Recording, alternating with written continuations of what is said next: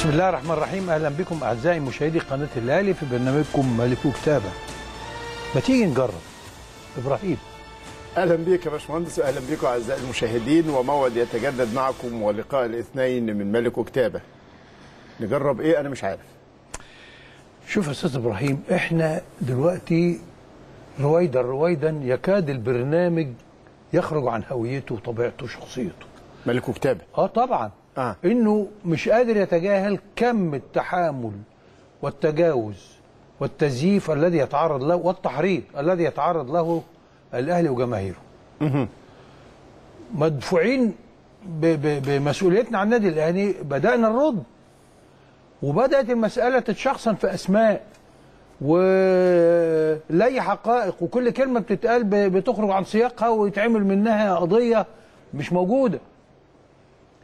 الحقيقة آه، آه، المتاجره بالكلام زادت جدا جدا جدا. وأنا شايف إن ده وضع مش سليم ووضع يضر المناخ الرياضي.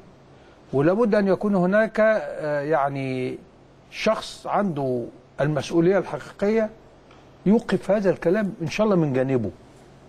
فلنكن هذا الشخص. أنا مش شايف إن إحنا يعني انت لو- طرحت ده من يجي ثلاث أسابيع دلوقتي. قلت كل واحد يبقى في حاله. آه. واضح إن مع- ان ما فيش استجابة. امم لكن كمان أنا أنا هحط الموضوع في قالب التجربة العملية. أيوه. تقيم تقيم الدليل. أقيم الدليل. إحنا مش آه. هنجيب سيرة حد.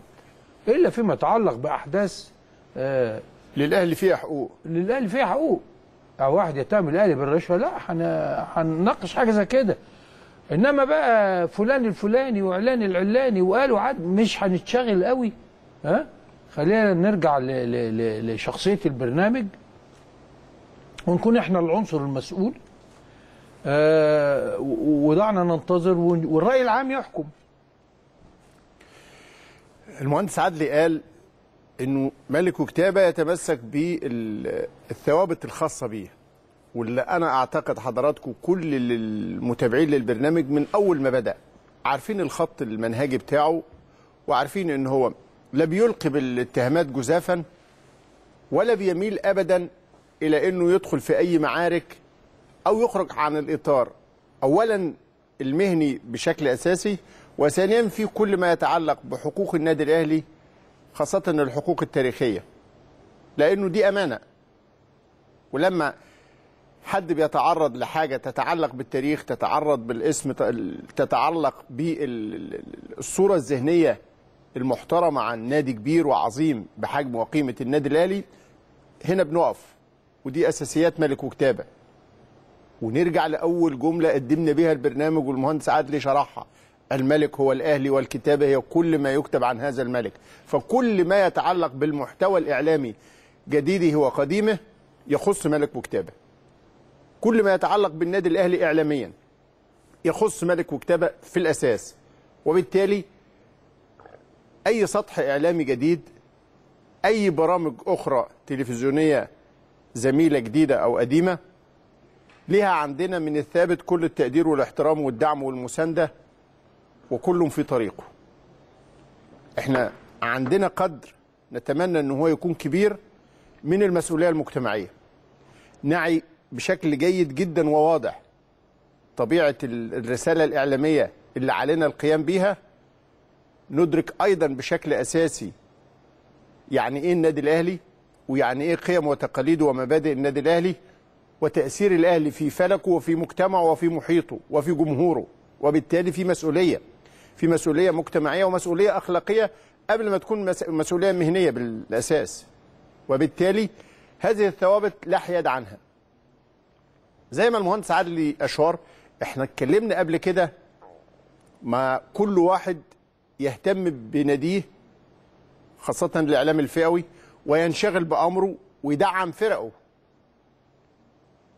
لكم إنما- فريقكم ولي فريق. آه، يعني ما حدش يستدرج ده بقى ال... إنما فكرة إن إحنا زي ما المهندس عادل أشار دلوقتي الاستدراج ما حدش هيحل مشاكله على حسابنا. وما حدش هينجح في إنه ياخدنا في مكان لا نتمناه ولا يليق لا بالأهلي لا النادي ولا القناة ولا البرنامج. فبالتالي خلينا مع بعض.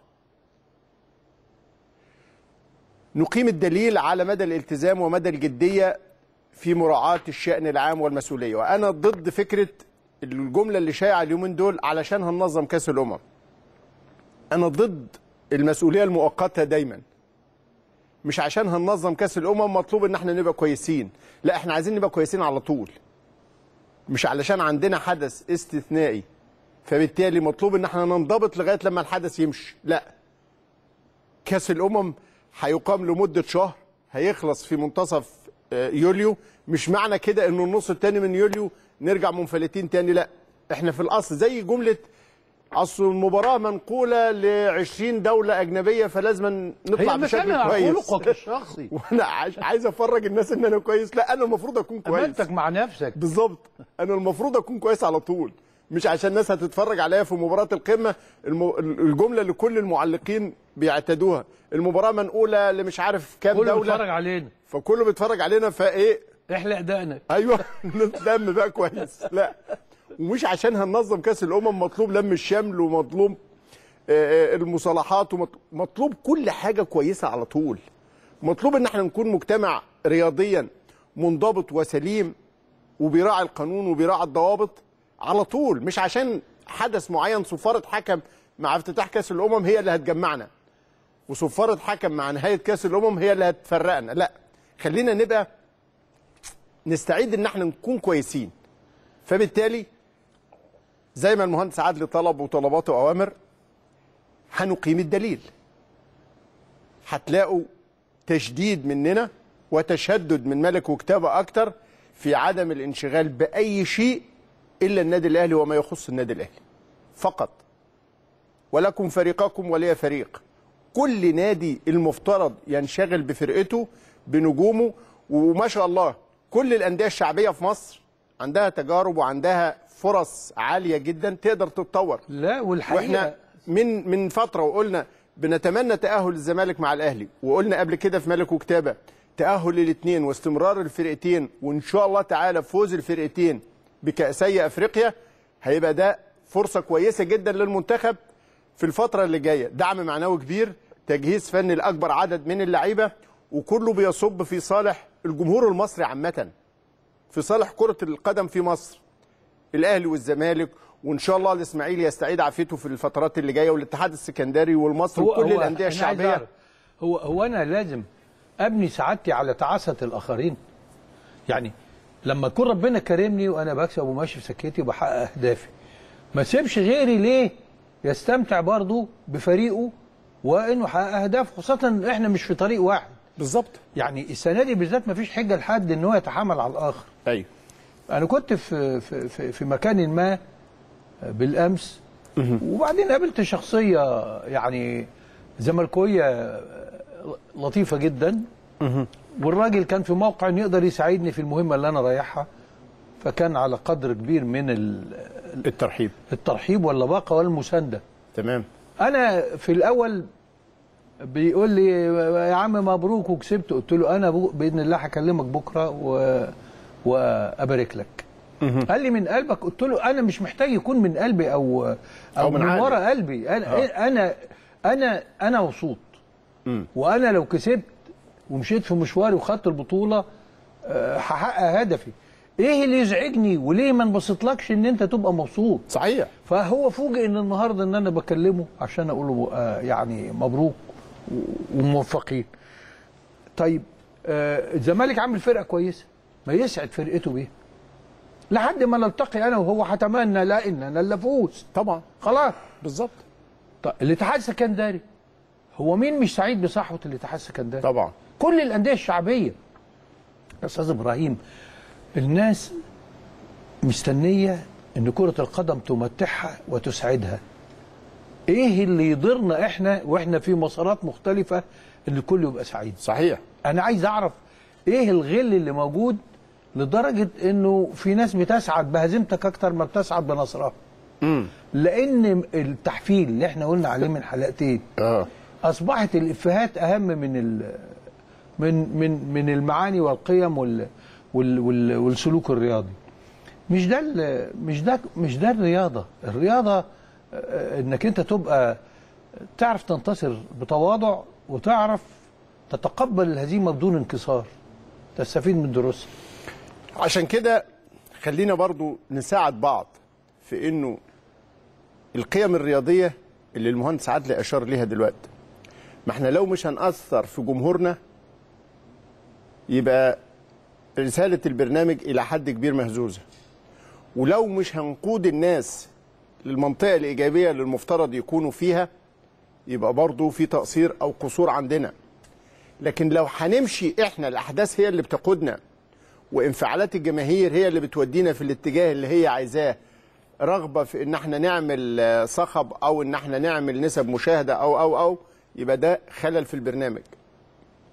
المفترض أي حد مسؤول عن رسالة إعلامية هو المؤثر فيها بشكل أساسي. يبقى إحنا سيبنا آه، آه، زمام القيادة وتحولنا إلى رد فعل. بالظبط يعني هو الفكرة إن في ناس ممكن تزعل من الكلام ده دلوقتي تقول لك يعني أنتوا ما سمعتوش فلان الفلاني أو مين اللي قال وهاجم وشتم.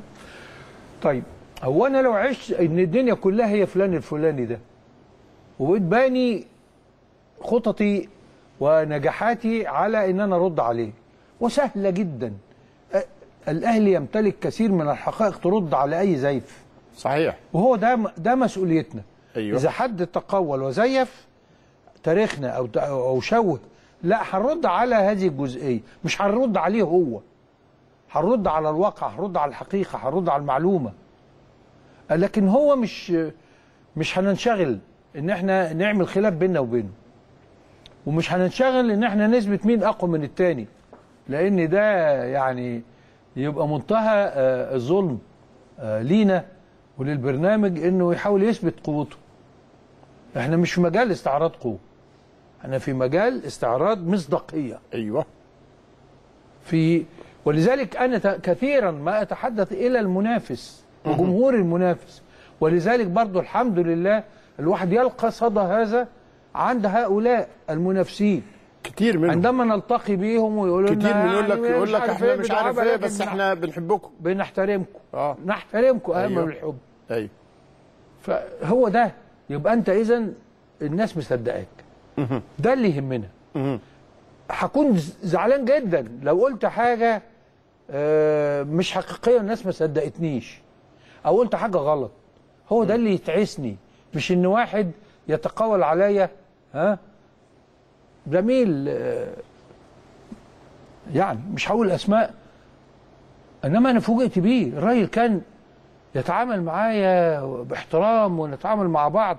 وكل ما كان يطلب مني حاجة كنت ألبي وأستجيب وبتاع لحد ما فوجئت إنه داخل في المزايدة على حسابي إنه لا يقدر يتك على عدل قيعي ويقول له وبعدين ماسكين إيه أنت بتاخد كام وبتشتغل ببلاش ولا بتشتغل طب هو أنا أشتغل ب- ما يعني قلتلكوش إن أنا منتخب متطوع. لا هو أنا أنا عايز أعرف هو أنا بشتغل وأنا لما أحب شغلي ولا أحترف hobby أنا أيوه. إيه الغلط؟ أنا احترفت بالظبط. hobby. بالظبط. احترفت. هوايتي بشغف. ومش محتاج إن أنا أتكلم فيها يعني ولا ولا بعتبرها دي يعني. لأن هو اللي قاعد يقول لي كده وبيشتمني برضه بال coin. أيوه. يعني أيوة. هو هو هو شتيمة بال coin. آه هو واخد تمن إنه يشتمني. أيوه. ومستكتر إن أنا تاخد إن أنا باخد تمن حبي لحاجة. آه. وبالمناسبة بقى آه. هو أنا في النادي الأهلي تاريخي إيه؟ هو أنا مش كنت سكرتير تنس الطاولة؟ طبعا. وكنت سكرتير كرة كرة اليد. اليد وكنت آه، آه، آه، آه، مدير النادي مدير. لا مدير النادي ده احتراف واخد بالك؟ وكنت مستشار المجلس مع كابتن حسن حمدي في آخر مجلس له. أيوه كل دي كانت بلا. مقابل أعمال ولكن و- لكن لو طلبت عليها اجرا ما ما ما ما, ما كان خطأ. أيوه طبعا. لكن لما يكون ده شغلي بقى خلاص وأنا سبت الدنيا ها وسبت أعمالي عشان أحترف هذا العمل في اللي بحبه. واللي أنا حاسس بإن أنا ليا رسالة فيه أنا أؤدي عملي كصاحب رسالة مش أؤدي عملي إن أنا موظف. أيوه. أنا مش مش متضايق إن حد يقول هذا الكلام لأن الحمد لله إن هذا لا لا, لا يجد مجال للهجوم غير البديهيات. أيوه. ده بيقبض. آه بقى حلو قوي إن أنا بقبض من الحاجة اللي, اللي بحبها و... لكن أنا لو بعت الاهلي بقى ورحت أنا قبضت عشان أتقلب عليه. أنت بتقبض مرتب. أو أنا رحت في حتة الناس عارفة إن أنا ما بحبهاش لمجرد إن أنا أدعي إن أنا بحبها عشان آخد منها قرشين. هو ده الغلط. فكل إنسان يبص لنفسه وأنا مش زعلان من حد لأني بعتقد يا بخت من بات مظلوم في الحتة دي مش عن ضعف بات إنه صاحب حق ها والله سبحانه وتعالى هو اللي هيجيبه له شوف يا باشمهندس هي يعني العزاء ال- الكبير والأساسي في الموضوع ده إيه؟ إن الناس عندها قدرة على الفرز أيوه عشان كده يعني-. يعني الحمد المتلقي لله. الحمد لله بقى عنده من الخلفية عن الأشخاص وعن الأحداث ما الحمد يكفي لله. الحمد فيجي يبقى عارف الكلام ده ما بيأثرش وما بيحوقش لأنه في النهاية فأما الزبد فيذهب جفاء واللي حبك حبك واللي بيكرهك مش هيحبك. و... إنما لما تتعامل مع أصحاب العقول اللي, اللي بي- بيسمعوا ويتعاملوا بالمنطق والمصداقيه هم دول هم دول اللي بتهتم يكفيك في النهاية رأي المحترمين وده ال- النقطة المهمة جدا. فنتمنى إن إحنا خلال الفترة الجاية ربنا يعيننا على الالتزام بهذا الخط اللي بنشدد عليه. آه إحنا ملتزمين جدا. البرنامج والحمد لله رسالته واضحة للجميع. ما بنستدركش لأي شيء. بنكبر دماغنا قوي عن حاجات كتيرة صغيرة.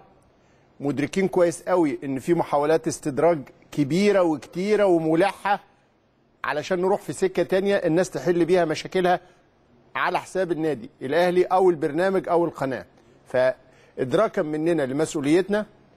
وتأكيدنا على التزامنا بكل قواعد المهنة السليمة اللي بنعيها بشكل جيد بنقول لكم إن إحنا هنكون على هذا الخط الموضوعي واللي نأمل انه يكون على قدر من الاحترام لكل الجماهير لأنه الرسالة بالأساس لكل الجماهير الرياضية. صحيح إنها تخص النادي الأهلي وتخص جمهور النادي الأهلي بس نتمنى إن كل حد يتابعنا وكل حد يسمعنا هو اللي يقدر يحكم الكلام ده موضوعي وسليم ومحترم ولا لا؟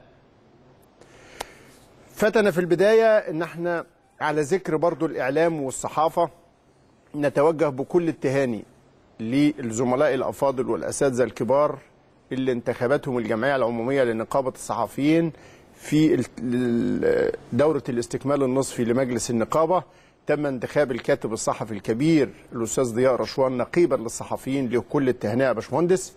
وهقول لك تهنئه له وللأستاذ محمد شبانة والأستاذ محمد يحيى. والميري و... التشكيل اللي, اللي تم انتخابه في جمعية عمومية تقريبا شهدت الحضور القياسي هذه المرة الجمعة الماضية. انتخب الأستاذ ضياء رشوان نقيبا ولعضوية المجلس فوق السن الزملاء الأساتذة خالد ميري ومحمد شبانة وهشام يونس. وتحت السن تحت 15 سنة ممارسة محمود كامل ومحمد يحيى يوسف وحماد الرمحي ليهم كل التهنئة وكل التمنيات بالتوفيق إن شاء الله وكل ال... لخدمة المهنة والقائمين عليها وخدمة الجمهور كله بإذن الله. خدمة المهنة والقائمين عليها والمساعدة في تصويب المناخ. صحيح. هذا الأسبوع شفتوا حضراتكم كيف أن ثورة أخمدت الثورة. الأولى بالثاء والثانية بالسين وما بينهما أداء رجولي ونضالي رائع جدا من لعيبة النادي الأهلي أفضى إلى تأهل مستحق وبتصدر المجموعة ودخول آه، دور الثمانية لدوري أبطال أفريقيا اللي القرعة بتاعته هتقام إن شاء الله في مقر الاتحاد هنا في القاهرة يوم الأربع صباحا ف أو في أحد الفنادق المطلة على آه، كورنيش النيل الساعة 7 مساء. الكابتن سيد عبد الحفيظ هيكون ممثل للنادي الأهلي في هذه القرعة يا باشمهندس. الأهلي عنده ثلاث احتمالات عشان حضراتكم تبقوا فاهمينها. الأربع مجموعات في الأربع أوائل. هتتعمل القرعة. كل فريق من دول هيواجه أحد التواني. دي آه، لقطات من قرعة ال- البطولة الماضية. وبالتالي فالفريق مش هيواجه تاني مجموعته. الأهلي صعد معاه سيمبا التنزاني بمفاجأة كبيرة ومدويه هنجي لها برضه فمش هيلعب مع سيمبا. هتتعملوا ثلاث أندية ممكن يلعبوا مع الأهلي. صن داونز الجنوب أفريقي حوريا كوناكري الغيني وشباب قسنطينة الجزائري. يا قسنطينة الجزائري يا حوريا الغيني يا صن داونز الجنوب أفريقي. حطيت لك ال basket قدامك اختار واحدة بقى. بمناسبة ال basket hard luck للأهلي. آه. هي حاجة في في رجال كرة السلة خسروا من الجزيرة. ال- في في اللحظة الأخيرة الجزيرة تعادل مع الاهلي في الثانية الأخيرة آه. مع الأهلي عشان يبقى في extra time ويفوز بفارق single basket آه نقطة واحدة 81 80 في الثواني الأخيرة أيضا. لكن 80 79 ت- 80 لا، أظن 80 79 80 79 يعني. ما إحنا كنا هنا إحنا كنا آه. بنتابع يعني. بالظبط لكن هذا يعني أن النادي الأهلي يقدم موسما مميزا في كرة السلة. أن تخسر في وقت إضافي بهذا الفارق الض- الضيق جدا وكنت أقرب بكثير من الفوز هذا يعني أن ال basket الحمد لله آه، يعني في ال- المرشحين للبطولات. آه، لكن طالما إنك حطيت لي ال basket بتاع القرعة لا آه، أنت عايز داخل على بطولة بقى عايز تكسب البطولة فليكن ما يكن يعني. لكن أنا أقول لك مش عايز أروح مع سان داونز ليه؟ مشوار السفر بس. مشوار السفر. مش عايز أنا المشاوير الطويلة دي بقى اللي تجهدنا قوي يعني. جنوب أفريقيا مشوار صعب. وغينيا مش قريبة برضه. فليكن. آه. آه. عموما هنشوف القرعة. حوريا حوريا كوناكري؟ آه. هنشوف القرعة هتسفر عن إيه لكنه كمان الأهلي بعد أن فرغ من المشوار الأفريقي بالتأهل بيستعد للمباراة المهمة جدا مع الزمالك مباراة القمة لازم يوم نبارك بقى 30 للزمالك. تأهله. تأهله لأن آه لدور الثمانيه في من بعيد. صحيح. أتى من بعيد مم. واستطاع أن يحقق ما حققه الأهلي الموسم الماضي أول. المستحيل آه. إن هو يبقى في متعثر البداية بعدين يعمل آه، نهاية آه، ولا أجمل آه، واستطاع أن يتأهل.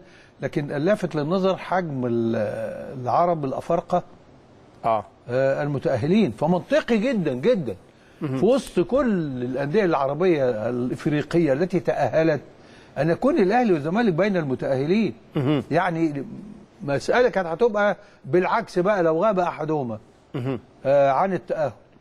إحنا ماشيين في دوري الأبطال والزمالك ماشي في. آه، ربنا يوفقنا آه، ونسعد مصر بشقين يعني الثمانيه الكبار في دوري الأبطال نصهم عرب. أربعة أيوة. عرب. أيوه أيوه أنا بقول لك منطقي. يعني يعني لا حتى في الكونفدرالية. وفي الكونفدرالية. آه نفس الشيء. في ثمانيه في ثمان عرب. ثمانيه عرب موجودين. في البطولتين. 16 في البطولتين. طبيعي إن يكون آه، آه، الأهلي أحد الأربعة والزمالك أحد الأربعة. كل التوفيق إن شاء الله لكل الفرق المصرية. كابتن سيد عبد الحفيظ آه، هيحضر القرعة زي ما قلت لحضراتكم. له تصريح كمان إنه الجهاز هيعمل مباراة ودية يجهز بقية اللعيبة لمباراة القمة خلال الأيام اللي جاية. المباراة ما تحددش آه، طرفها الثاني مين أحد أندية القسم الثاني في الغالب لكن كمان موعد المباراة لم يحدد بعد. ده في إطار الاستعداد للقاء القمة يوم 30 مارس إن شاء الله. وفي تأكيد من كابتن سيد بخصوص القرعة إنه كمدير كورة والجهاز الفني بيحترم كل المنافسين وبيرحب بأي آه، ما تسفر عنه قرعة البطولة الأفريقية وبالتالي قال الأهلي جاهز لمواجهة أي فريق وكل الأندية عنده لها كل التقدير والاحترام طالما إن الأهلي هدفه الأساسي السعي للفوز بالبطولة. مارتن لاسارت المدير الفني بيجهز بقية اللعيبة وبيجتمع مع الجهاز المساعد له علشان ياخد تقرير شامل عن كل اللعيبة وعلشان يتفق معاهم على خطوط آه، خطة العمل في الفترة اللي جاية.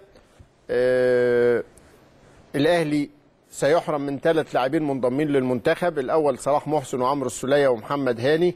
اللاعب الرابع هو التونسي علي معلول المنضم لمنتخب بلاده بجانب لاعبي المنتخب الأولمبي مصطفى شوبير ووليد. وليد آه، كريم ندفد ورمضان صبحي وناصر ماهر. ده لخلال الفترة اللي جاية من التدريبات. لكن في مباراة القمة بيستعيد الأهلي قوته الكاملة كمان بدعم صفوفه باللعيبة اللي هتكون جهزت وسواء من العائدين من الإصابة أو اللي ما شاركوش في المباراة الأفريقية لعدم القيد أو لعدم الجاهزية الفنية. بدعم صفوف الأهلي في الفترة اللي جاية وليد سليمان وصالح جمعة وباسم علي وأحمد علاء وإسلام محارب. وشريف إكرامي ومحمد نجيب وأحمد الشيخ وعمرو جمال وحمدي فتحي ومحمد شريف وهشام محمد اللي خدوا تدريبات تأهيلية تحت إشراف حسين عبد الدايم مساعد مخطط الأحمال البدنية وبيطمئن مارتن لاسارتي عن حالة كل هؤلاء اللاعبين عشان يشوف يا باشمهندس مين هيقدر يستعين بيه من دول للمرحلة اللي جاية. وبسم الله ما شاء الله يعني انت المباراة اللي فاتت بتلعب مباراة مهمة جدا. قدام شبيبة الثورة الجزائري. عندك تشكيل قوي جدا في الملعب وعندك دكة هو ده. قوية جدا. ده فريق البطولة. بره الدكة في على الكنبة كمان ناس تانية. اللي على الكنبة أسماء تخض. شوف آه، الدكة عملت إيه؟ امم قيمة عودة المصابين والدعم الذي حدث في الشتاء ها إنه إدى الثقة الثقة للموجودين وإدى الحافز والدافع. فأصبح المستوى حتى الكامن اللي ما كناش شايفينه ها انطلق. آه. يعني النهارده ما هو ما هو هاني ما هو كان موجود. أيوه بسم الله ما شاء الله. ما ندفت كان موجود. بسم الله ما شاء الله. ما السوليه كان موجود. بسم, بسم الله ما شاء الله. أنت قول وأنا هقول بسم الله شاء يعني الله. أقول لك إيه يعني؟ يعني كل دول كانوا موجودين. لكن لما الفريق كله بي- بيشد بعضه وتحس بالثقة ان انت في وسط دول مش قلقان بقى مين خد انذار ومين عنده شد والف- هنعمل إيه الماتش الجاي؟ الفريق بشخصيته بيتكامل بيشد بعضه لقدام. بسم الله ما شاء الله. بسم الله ما شاء الله ولا حول ولا قوة إلا بالله. عايز أقول لك حاجة. هو أنا كان إيه اللي مخوفني قبل الثورة؟ مستوى الأهلي؟ لا. لا خايف المفاجآت اللي إحنا يعني أنت عملت ماتش ولا أروع على فكرة. فيتا ولا أروع من الماتشات الحلوة قوي اللي بره أرضك. وما كسبتهاش. خسرت. أنت ما تعادلتش حتى. خسرت بطريقة غريبة جدا. لا تتكرر يعني. كورة نازلة بالباراشوت في الجون. من فوق. يعني مش جون مش مش كورة كده كده. كورة نازلة. علقت. يحدث في هذا الأمر. أنا يوم الماتش الصبح أستاذ إبراهيم والمطر والهواء قلت آه البطولة دي على كف عفريت. يوم ربنا ها يريد يصفو الجو مرة واحدة. وتلعب في مناخ يسمح لك أن تؤدي. في ملعب منهك أرضيته منهكة. فبرضه ما برغم كده تؤدي هذا الأداء لا النادي الأهلي الحمد لله عنده القدره وعنده آه، كل مقومات إنه يحقق أهدافه. مباراة فيها كتير من التفاصيل. الحقيقة مباراة شبيبة الثورة فيها كتير من التفاصيل اللي هنقف عندها لأنه فيها معاني وفيها أخبار وفيها كواليس كتيرة مهمة. لكن الشيء الرائع جدا في إطار مسؤولية النادي الأهلي بقى المجتمعية.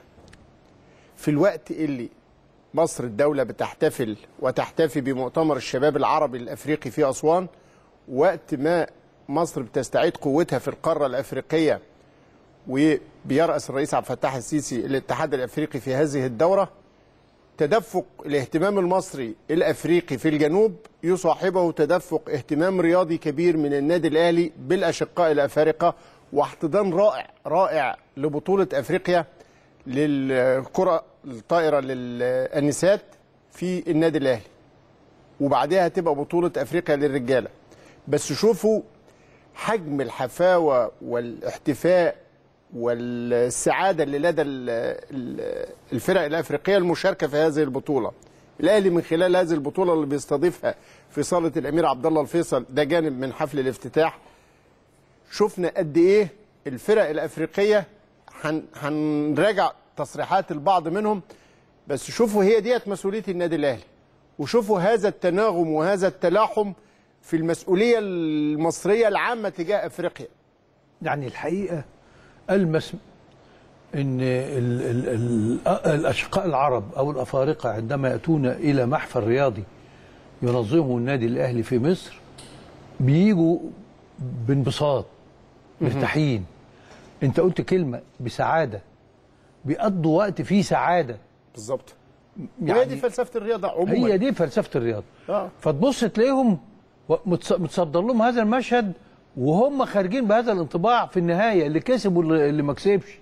كله خارج سعيد ومبسوط و- و- و- وهي دي برضو جزء من مسؤولية الأهلي الرياضية والمجتمعيه طبعا. إنه يكون على قدر المسؤولية ويخلي الناس تشعر بقيمة آه، الأهلي ومصر.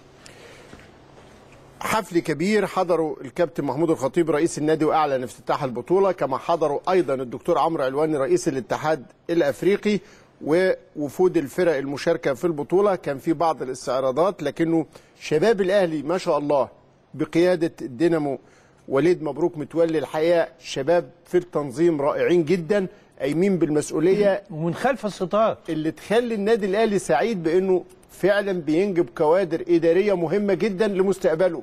هم دول العمود الفقري يعني- لمستقبل يعني- الأهلي الإداري. يعني مش أعضاء مجلس إدارة النهارده لما نيجي نقول ال- السراج والجرح والضماطي و آه، وطارق أنديل وكله. وطارق انديل واللي بينظموا البطولات و... وجوهر. ومهند طبعا آه. كلهم أثبتوا جداره لكن لما يكون من خارج المجلس وما لهمش أي متطوعين آه وبش... وبحب وبإقبال وبتضحية وبنجاح وبتفاني وبدين و... بروح عالية كمان وبروح يعني- عالية وب... يعني هو ده بص والله هو ده اللي بيخليك تفرح بالأهلي. صحيح. تفرح بالأهلي لأن هي دي رسالة الأهلي. آه. إنه يخلي الشباب ده فرحان بالأهلي عنده على قدرة. على الإبداع وعنده قدرة على وإنه هو يمارس آه، عمله بسعادة أيوة. و... يعني إحنا عشنا الأدوار دي. عشناها كلنا. أيوة. يعني فالحمد لله إنها ما زالت موجودة هذه الأجواء. بطولة بتقدم كوادر زي كل بطولة. الكادر الأهلاوي المهم كان في هذا الحدث المهندس محمد سراج الدين. عضو مجلس الإدارة تحت السن. مجلس الإدارة بيوكل إليه مسؤولية رئاسة اللجنة المنظمة. شوفوا بقى لما يكون عضو مجلس إدارة تحت السن يرأس لجنة منظمة لبطولة أفريقية كبيرة. فيها كل هذه ال- الوفود المشاركة. على فكرة كل بطولاتنا كده.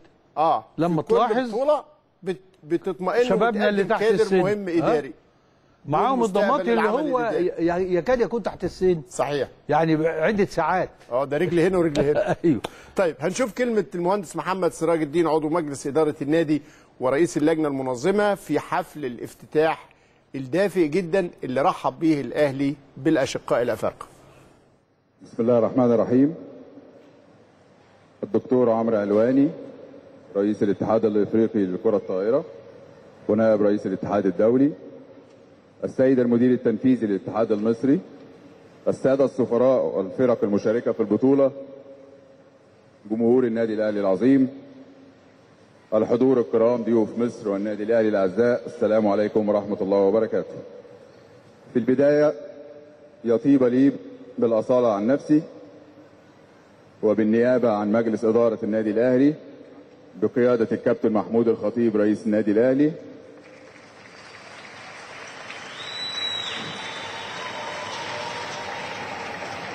أن أرحب بحضراتكم جميعا مجددا على أرض مصر. إذ نتشارك ونتواصل ونتنافس في إطار من الروح الرياضية على ملاعب النادي الأهلي العظيم الذي يعتز بعلاقته مع الأشقاء الأفارقة في إطار علاقة تاريخية ومتميزة تجمع مصر بالدول الإفريقية. توجت مؤخرا بتولي مصر رئاسة الاتحاد الإفريقي لعام 2019 لتعمل مع أشقائها على بناء السلام والتنمية لكل شعوب القارة. إن تنظيم النادي الأهلي لهذا الحدث الكبير يعكس الثقة الكبيرة التي يتمتع بها لدى مسؤولي الاتحاد الإفريقي لكرة الطائرة. ونحن بدورنا وانطلاقا من مسؤولياتنا نتعهد أمامكم جميعا بتنظيم بطولة تعكس حجم هذه الثقة. وبشكل يليق باسم مصر العزيزة وقارة إفريقيا والنادي الأهلي العريق. وأود أن أتوجه بالشكر والامتنان للجنة العليا المنظمة للبطولة ورؤساء وأعضاء اللجان والشباب القائمين على التنظيم الذين يعملون بكل جهد لكي تخرج بالشكل الأمثل الذي يليق باسم النادي الأهلي والاتحاد الإفريقي. وأخيرا نرحب بحضراتكم مرة أخرى ونتمنى لكم طيب الإقامة في بلدكم الثاني مصر ولكل الفرق المشاركة التوفيق والسلام عليكم ورحمة الله وبركاته. كلمة فيها رصانه وموضوعية وبتعكس الإحساس بالمسؤولية تجاه اللعبه وتجاه الرياضة وتجاه مصر. آه، كلمة موفقة مقتضبه مش طويلة. لكن عايز أقول لك حاجة بقى وأنا سرحان وبتفرج على الصالة دي. مفيش منشأ رياضي في مصر تم استثماره بهذه الكفاءة واتى اكله كما أتت هذه الصالة. صلت الأمير عبد الله الفيصل. صارت الأمير عبد الله الفيصل اللي في التسعينات أنشئت واللي يا أستاذ إبراهيم لو شفنا عدد البطولات اللي احتضنتها كتير. أتحدى إن كان في منشأ في مصر احتضن هذا العدد تخدم بهذا الشكل. وهذا هو الغرض من إنشاء المنشأة. مش إن يبقى عندي حاجة حلوة قوي وأحسن حاجة وأحسن منشأ وبعدين الفكرة دي قضية مهمة جدا. آه. ليه؟ لأنه إحنا أكتر دولة عندها منشات ده منشات رياضية. ولا و... بس لا تستخدم. آه. يعني زي ما يكون بنبني متاحف. ما الذي يحول بين مصر واستقبال فرق العالم ونكون هب أو مركز إنه يستقبل كل الناس اللي عايزة آه، في الفترة الشتوية أو في فترات الصيف آه، وفترات الإعداد إنها تبقى الملتقى آه، اللي بي بي بي بيسعى إليه. لازم نفكر في هذا الأمر. إزاي الفرق الكبرى تيجي تعسكر عندنا تسويق الأحداث وتستمتع الرياضية. بمناخنا بمرافقنا بأثرنا بأجواءنا بثقافتنا بحبنا لل... لل... للضيف باحتضاننا له. هو دي لو إحنا شعب مضياف صحيح هننجح مصر دي من السياحة الرياضية بشكل غير مسبوق. عندنا المنشآت يا أستاذ إبراهيم اللي هو أنت لما تيجي تكلف بتنظيم فجأة البطولة الإفريقية الأمم الإفريقية وتجد إن عندك شوية رتوش كده هذا الكم الهائل من الاستادات. هي مفاجأة؟ لا مش مفاجأة. و و و وتستطيع إنك أنت تخرج بالتجربة دي إنك تنظم كأس عالم. عايزين إن إحنا كشعب بقى ناخد ثقافة إن تعالوا يا عالم كلكم استمتعوا معانا في مصر. التسويق ال- الرياضي. آه. طيب في البطولة أيضا في بطولة أفريقيا للكرة الطايرة الأهلي النهارده فاز على اس اف اي البوركيني 3-0 والمجمع البترولي الجزائري فاز على اسك ميموزا الايفواري 3-0 وفاب الكاميروني فاز على ريفينيو الرواندي أيضا 3-0 قرطاج التونسي فاز على دي جي اس بي الكونغولي 3-0 والسجون الكيني أحد الفرق القوية في البطولة فاز على جامعة نوكومبا الأوغندي 3-1 ديفيد كاليندو مدير بعثة الفريق ال- الكيني فريق السجون للأنسات منبهر بمستوى التنظيم في البطولة وبدرجة اهتمام الأهلي بالفرق الأفريقية. قال في تصريح مهم الأهلي هو عملاق القارة الأفريقية نجاحه في تنظيم البطولة الأفريقية للعام الثاني على التوالي هو أمر طبيعي خاصة أنه الأعرق على مستوى القارة السمراء. وقال أيضا المسؤول الكيني إنه فريقه بيتطلع بقوة لتحقيق البطولة ويدرك إنه في منافسة قوية له مع النادي الأهلي. قال إن إحنا في الموسم الماضي آه، وصلنا للدور قبل النهائي وخرجنا أمام قرطاج في نصف النهائي لكن هذه المرة بيقول مدرب أو مدير الفريق الكيني إنه جاي للمنافسة بقوة على البطولة. كينيا؟ آه. آه، مشهورة بحاجتين. امم طبعا على المستوى العالمي المسافات الطويلة. امم هم أبطال العالم. بقى لهم مدة محتكرين. هذا الكلام. وسبب هايل جدا وغريب جدا إن عندهم قرية لمعظم الأبطال منها على قمة جبل. مفيش مفيش التضاريس مساعداهم قوي. لا مفيش وسيلة انتقال غير إنه بينزلوا جري يطلعوا جري. مم. ده البداية كانت كده. وأنا اظن ان هم محافظين على هذا الكلام فالمناخ والاكسجين فوق مختلف عن المهم في ألعاب القوة في الجري مسافات طويلة. ولكن اللعبة الشعبية آه الأولى عندهم طايرة. الكرة الطايرة. وخصوصا في مجال السيدات. مم. طول عمرهم هم المنافس الأول على البطولات مع مصر. يعني الحقيقة آه وفرقة السجون وف- وفرقتين عندهم فرقتين. الأنابيب والسجون. آه الأنابيب والسجون. طيب مدرب أو مدير الفريق الكيني عنده هذا ال- الإصرار في إنه ينافس على البطولة. التصريح المهم من مدرب آسك. المدير الفني لآسك ميموزا الإيفواري الراجل قال بمنتهى الوضوح يا جماعة أنا أهلاوي وأنا أهلاوي في كرة القدم وأنا سعيد جدا إن أنا موجود في مصر وسعيد أكتر إن أنا أكون موجود في النادي الأهلي. اوجنتونا أكانتايو ده المدير الفني لأسك آه، عبر عن سعادته بالتواجد في القاهرة. قال فريقي هذا العام يطمح في تحقيق مركز متقدم في المنافسة لكن قال إن أنا مشكلتي في حاجتين نقص الخبرة عند لاعبات الفريق لاعبات أسك واختلاف الظروف المناخية اللي شايف إن هي دلوقتي فرق ال- المناخ هنا عن هناك عن آه، آه، كوت ديفوار مش في صالح لاعبات الفريق لاعبات اسك لكنه بيتوقع وبيتمنى فوز الأهلي بالبطولة. دي بقى الحاجة ال- ال- الملاحظة جدا. قال أتمنى أن يتوج الأهلي بالبطولة الأفريقية هذا العام. أعتقد أنه قريب لذلك الأمر خاصة انه الأهلي آه، عنده هذا الاستعداد. وقال إن الأهلي بالنسبة لي على المستوى الشخصي هو الفريق الأفضل بالنسبة لي.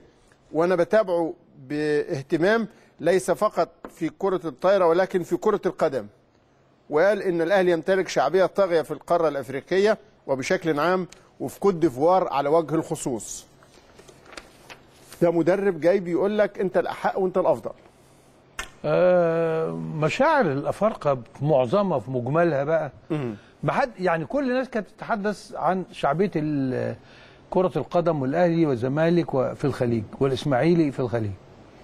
ما حدش شغل دماغه إنه يشوف شعبية هذه آه، الفرق المصرية في أفريقيا عاملة إزاي. آه. اللي هي في اتجاه الأهلي بشكل واضح يعني. كبير. آه. واللي هي الحقيقة لفتت نظر كاتب صحفي مهم وواحد من ال- ال- ال- المفكرين الأستاذ صلاح سالم. واحد من كبار المثقفين وواحد من المفكرين. صلاح سالم تقدر تقول إنه رجل على طريق زكي نجيب محمود في الكتابة الفلسفية. بيمتعنا الحقيقة كل ثلاث في مقالة مهمة جدا له في صفحة الفكر في الأهرام وبيمتعنا في صفحة أو في آه، صفحات مجلة الاهلي الشهرية. بمقالة شهرية دايما وابدا بيبقى فيها رؤية مختلفة. كتب صلاح سالم هذا ال- الأسبوع في العدد الشهري الأهلي عظيم الشرق الكروي. وباصص للأهلي من زاوية تانية خالص. فبيتكلم على إنه إزاي ال France Football حطت الأهلي في المرتبة الحادية والعشرين بين أعظم 30 نادي على مستوى آه، الكرة الأرضية. 30 نادي على ظهر البسيطة بيلعبوا كرة قدم. أفضلهم من وجهة نظر ال- ال France Football وفقا لمعايير وإحصائيات هي رصدها الأهلي جه في الترتيب ال11 فقال ال 21 ال 21 فقال الأستاذ صلاح سالم بعد ما استعرض ظروف كتير من المؤسسات المصرية فيما بقي الأهلي وحده في حال تصاعد وارتقاء مجسدا شخصية مصر في أرفع درجات حضورها بإتقان لا يبارى. حتى بدأ وكأنه العنوان الباقي لها من حقبه من من حقبة شموخها الذي كان لها. إذ يرتسم على وجهه المنتصر معالم حضورها الطاغي حينما كانت قائدة لحركات تحرر الشعوب والأمم. لقد استمر الأهلي وحده يتفوق على نفسه فيزداد تألقا في مراكمة الانتصارات وكسب البطولات وحضورا على منصات التتويج القارية مشاركا في الأعراس العالمية. حتى صار فريق الكرة به سيدا للقارة في القرن العشرين بل صار الفريق الأكثر تتويجا في العالم قبل سنوات قلائل. بعشرين بطولة قارية قبل أن يتوج أخيرا في المرتبة الحادية والعشرين بين أعظم الأندية العالمية بمعيار الجدارة التاريخية الشاملة. وهو موقع لا يدانيه فيه أي فريق مصري أو عربي آخر فقط لأنه الأهلي عظيم الشرق الحضاري. يعني هو خدها طبعا من منظور القيمة التاريخية للنادي الأهلي. والنادي الأهلي عشان ناخده بناخده دايما في هذا السياق. وده اللي أنا بقوله يعني الناس ما فهمتش يعني إيه الأهلي هو نادي الدولة. أنه الذي يحقق هذه البطولات هذه النجاحات ها الذي يشرف مصر الذي يضعها في هذا الم... الذي يردد اسمها من خلال الرياضة من خلال الرياضة من خلال الرياضة. تاني عشان ما حدش ياخد الكلام ويحرفه. إن ال- اللي يعمل كده لا هو بيتسق مع أهداف الدولة مش عايز مناقشه يبقى جزء منها بيعلي قيمة وطنه. آه. ف ف آه، النادي الأهلي يؤدي هذا الدور بهذه ال- المسؤولية. بهذه المسؤولية وهذه الجداره ويحصل على هذه المكانة بهذه الجداره فيعني طبعا آه، مقاله مهمة جدا. كويس إنك استبطأت الأهلي عظيم الشرق الحضاري. في كرة القدم شفتوا. هذه المراكمة في الانتصارات على رأي صلاح سالم لكن كمان في كل الألعاب الحقيقة شفنا الكرة الطايرة شغالة إزاي سيدات كره السلة آه، آه، جاهزات أيضا للمباراة المهمة اللي هتكون في نهائي كأس مصر يوم السبت مع سبورتنج والكابتن إيهاب الألف المدير الفني للفريق منح لاعبه الفريق رنا على نجمة الفريق راحة سلبية من التدريبات لحين تعافيها. المباراة هتكون في صالة استاد أو 6 أكتوبر يوم السبت إن شاء الله. في كرة الماء الأهلي بيستعد لمواجهة الزمالك يوم الجمعة إن شاء الله في ملعب الجزيرة. في أولى مواجهات الفرقتين في نصف نهائي بطولة الدوري العام. في فرق السباحة الأهلي خلية نحل من أجل كاس مصر وكل فرق السباحة بتواصل الاستعداد لبطولة الكاس منافسات المرحلة العمرية من 17 سنة إلى مرحلة العمومي في نادي سموحة في اسكندرية. بقية المنافسات العمرية هتقام في آه، حمامات السباحة في استاد القاهرة. دي خلية النحل الرياضية علشان الأهلي يواصل بيها دوره الكبير في خدمة الرياضة المصرية في كل الألعاب. لكن تبقى هذه الثورة المهمة التي أخمدت فرقة الثورة المهمة أيضا بعد الفصل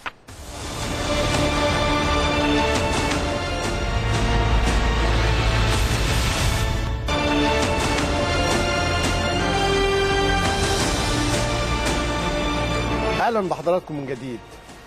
قصة ثورة أخمدت الثورة. وقلت لكم بين الثاء في الأولى والسين في الثانية. مباراة ممتعة جدا. ربما قلل منها شوية ملعب برج العرب وأرضيته اللي نتمنى إن يتم تداركها وإصلاحها سريعا لأنه بصراحة أرضية ملعب ما كانتش تليق ابدا بهذا الاستعداد المهم جدا وأحد أهم استادات آه، الكرة في مصر. لكن في هذه المباراة يمكن الاستاد التوقف عن جدا. طبعا. يعني بيتلقى ضغط آه، مباريات ضغط كتير. مباريات كتيرة جدا. يعني حتى آه، هي دي المشكلة. إمتى يعني إمتى هتعملوا الصيانة يعني؟ مباراة فيها معلق ومدرب ولقطة مهمة جدا وتفاصيل كتيرة. المعلق كان على القناة الناقلة للبطولة الصديق العزيز علي محمد علي. الحقيقة أتحفنا بتعليق رائع جدا وكسب المزيد من ثقة الجماهير الأهلوية بالتحديد. رغم إنه هو زملكاوي بس هو راجل موضوعي. رغم إنه علي محمد علي زملكاوي. زملكاوي لعب كرة في نادي الزمالك. لكنه وجه رسالة شديدة الوضوح ويمكن بعض المواقع كتبت شفت مقالة في أحد المواقع إنه علي محمد علي على درب الكبار وإنه ده الخط بتاع ميمي الشربيني ومحمد لطيف وحمادة إمام ومحمود بكر. رحمة الله على الجميع. وربنا يدي الكابتن ميمي الشربيني الصحة والعافية.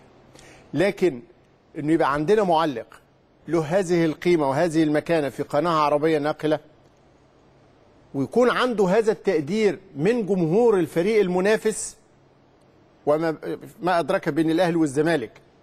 يحظى بثقة جماهير الأهلي على هذا القدر فالمؤكد إن إحنا قدام حد محترم قوي جدير جدا بكل كلمة بتتقال في حقه على السوشيال ميديا وفي كل مواقع التواصل الاجتماعي.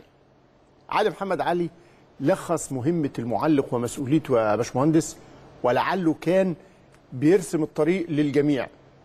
المعلق مسؤوليته إنه يقول الحقيقة. المعلق مش من حقه يكذب ولا يزيف التاريخ. كان واضح جدا فيها. ما هي دي مسؤولية. آه. هو انت فرحتك انك انت الناس يسقف لك وبعدين تطلع كلامك مش مظبوط. مش هو ده. وهو الحقيقة شوف في أي حاجة وانت بتشتغل لو حطيت في ذهنك مين اللي هيسقف لك مين اللي هيعجب بيك مش هتبقى حقيقي. أيوه. مش هتبقى يعني راجل آه، آه، أصلي.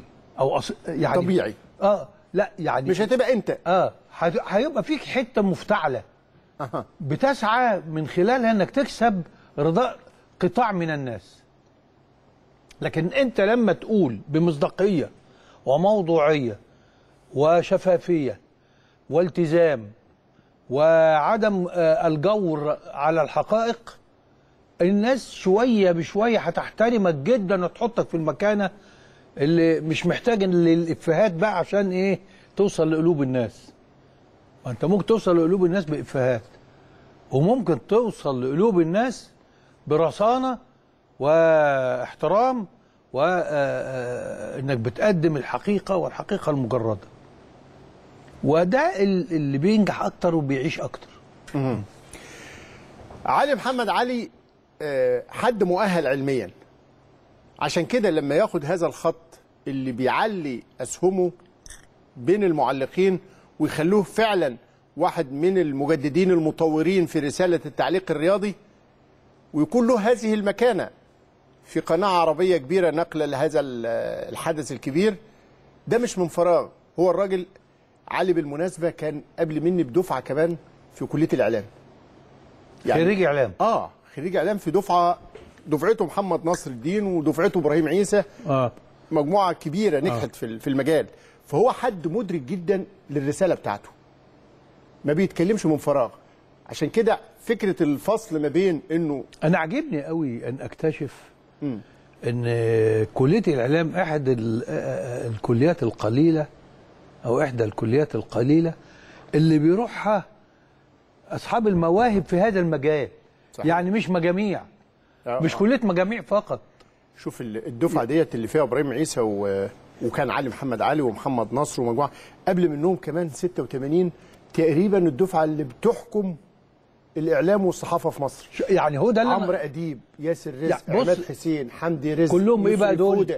كل-؟ كلهم إيه يعني بقى؟ أتمنى ما أنساش حد بس كلهم مواهب. آه طبعا كلهم مواهب صحيح يعني مش راحوا بحكم المجموع صحيح ولذلك عندما يتحصنوا تتحصن الموهبة والشغف بالعلم يكون المنتج آه، نجاح. صحيح. ف... فهو يدرك كويس قوي إنه التعليق الرياضي رسالة ورسالة شديدة الخصوصية كمان لأنه هو بيقدم رسالة بصوته مع صورة الناس شايفاها. فالناس مش هتكذب عينيها. إزاي يقدر يجمع الأذن مع العين في توافق واحد؟ إزاي يقدر ما يخليكش تكذب الصورة اللي أنت شايفها؟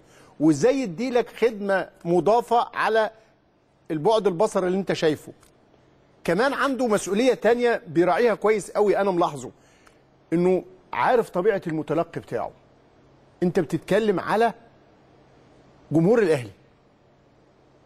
جمهورك اللي بيتفرج عليك في مباراة الأهلي والثورة جمهور في الغالب أهلاوي.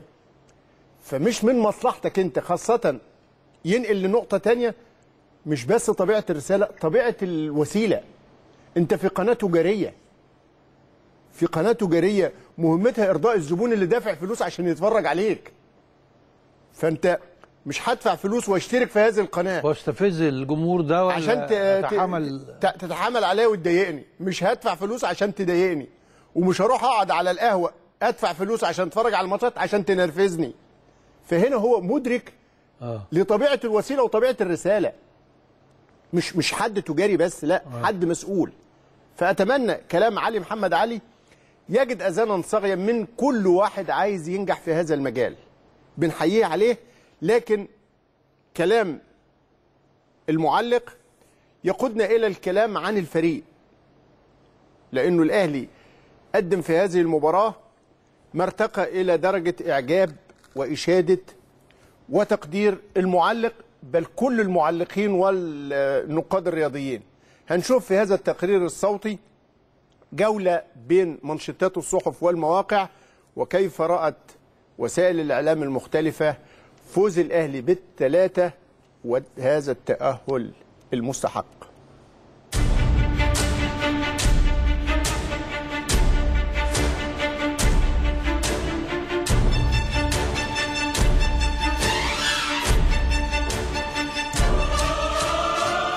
غرد الأهلي فغردت الصحف والمواقع. واقع ولا أروع فرضه الأهلي على الجميع بفوزه الكاسح على شبيبة ثورة الجزائري فتناغمت معه الصحف والمواقع وتغنت عبر عناوين مبهجة بالبطل المغوار الذي لا يشق له غبار. ضربة البداية كانت عند الأخبار المسائي وكتبت الأهلي يسطع في سماء إفريقيا. اكتسح الثورة بثلاثية وتأهل لربع نهائي دوري الأبطال. على نفس الوتر الحالم تعزف الأهرام المسائي. الأهلي تاجر السعادة. اكتسح الثورة بثلاثة وتأهل لربع نهائي دوري الأبطال. لاسارتي يسحق زاوي ومعلول مبدع والجماهير امتياز. وعندما يأتي المساء تكتب الأهلي غول بمروان ومعلول سحق شبيبة الثورة بثلاثية نظيفة وتأهل لربع النهائي تتبعها صحيفة الأخبار متغنية بما قدمه الأهلي من إبهار. الأهلي يتصدر مجموعته ويتأهل للثمانية الإفريقي. فاز على الثورة بثلاثية ومعلول نجم المباراة وسيمبا يرافق بطل مصر. تتناغم الأهرام مع الأداء والنتيجة فتكتب الأهلي ينهي مغامرة الثورة الجزائري بثلاثية مع الرأفة نادي القرن يقدم أفضل عروضه الإفريقية يتأهل لدور ثمانية معلول نجم فوق العادة.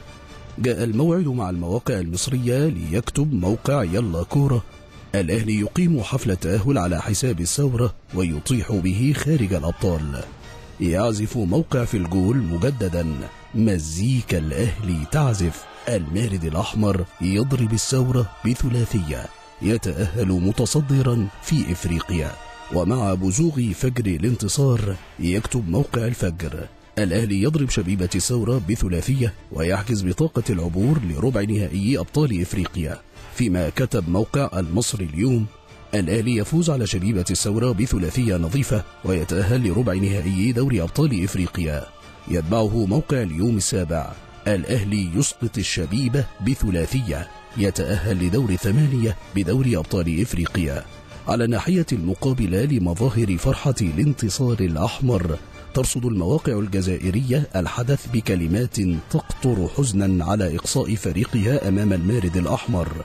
فكتب موقع الهداف الجزائري الأهلي ثلاثة شبيبة الثورة صفر إقصاء الثورة. فيما اكتفى موقع الخبر بكلمات قصيرة إقصاء شبيبة الثورة.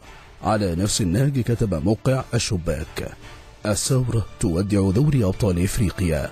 أما النهار الجزائرية فجاء عنوانها ملخصا لحالة المرارة التي تجرعها المنافس على أقدام لاعب الأهلي فكتبت ضاع الحلم رسميا. شبيبة الثورة تودع دوري الأبطال بمرارة كبيرة.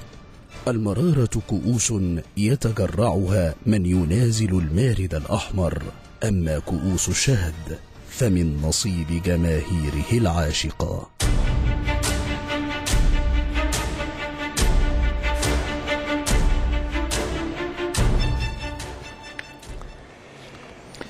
يعني مؤكد إن ال- ال- المباراة دي جاءت بكل الأمنيات الطيبة التي يتمناها النادي الأهلي. اولا منحته الصدارة. فوز يمنحك الصدارة. ولا بديل أيوة. ما كانتش في أي نتيجة تانية هتؤهلك غير الفوز.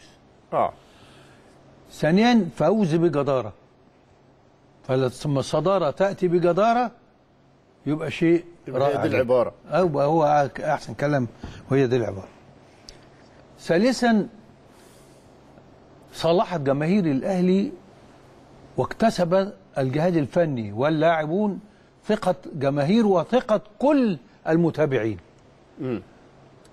ما فيش حد طلع حلل ما شافش الأهلي آه، آه، آه، فريق تقيل ها وأنه فريق أصبح مرشح بقوة لاستعاده ال- اللقب.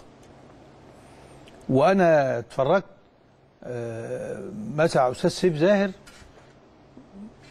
لا جاب بقى المرة دي وش كده. يعني ما قدرش يعني حتى إنه هو يتمالك آه، إنه يقول غير إشادة بكل ما رآه رائعا في هذه المباراة.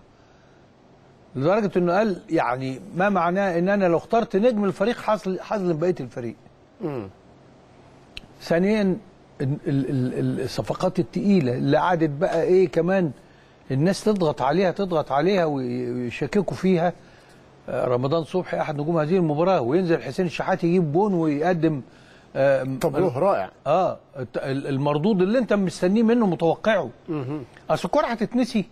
لا طبعا. مش هتتنسي. انت دي امكانيات لعيبة. آه، أنا النهارده بره آه، مستواي ده موضوع. أنا لسه ما انسجمتش ده موضوع. أنا مش محطوط في المكان اللي نجحني ده موضوع. فالحقيقة المباراة دي كلها مكاسب ومكاسب تعدي الثمانية من عشرة آه، طبعا في ناس راق لها إنها تقول رغم هذا الفوز والتأهل الاهلي أو مجموعته إلا إنه هل هو المرشح الأقوى في البطولة؟ وعاملين مقارنة هنا يا أستاذ إبراهيم. ها؟ هنجيلها. لكن هنجيلها لكنه أنت أشرت لحاجه في المباراة. حتى لاسارتي امم لا يعني ال- ال- الناس عمالة تتكلم على جرأته و...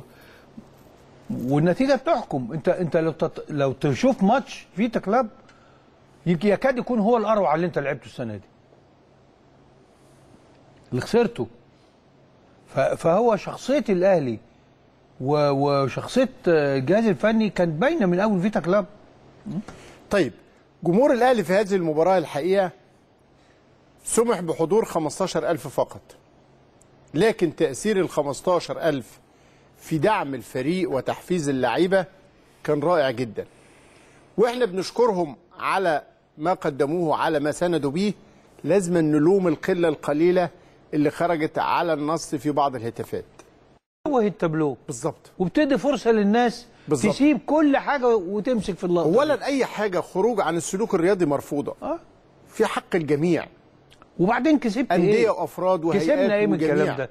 إيه اللي أنت كسبته غير إن أنت تظهر في مظهر اخلاقيا ما يصحش يكون بأي شكل من الأشكال لكن كمان مع هذه الفئة القليلة اللي خرجت على النص يكون الاتهام لأنه إن النادي الأهلي آه هو اللي دفع هذه الجماهير وهو اللي دعاها ده كلام غير طبيعي.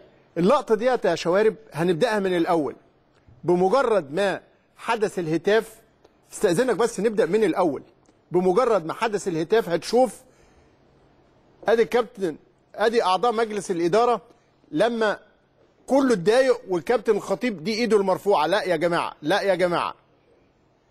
دي لقطة للحرص على إظهار الحقيقة في مسؤولية الناس المسؤولة. لا بمجرد لو فتحنا الصوت ومش هنفتحه طبعا بمجرد ما سمعت بعض الألفاظ الخارجة من هذه القلة من الجماهير هب رئيس النادي وأعضاء مجلس الإدارة بالرفض وحث الجماهير لا ما ينفعش.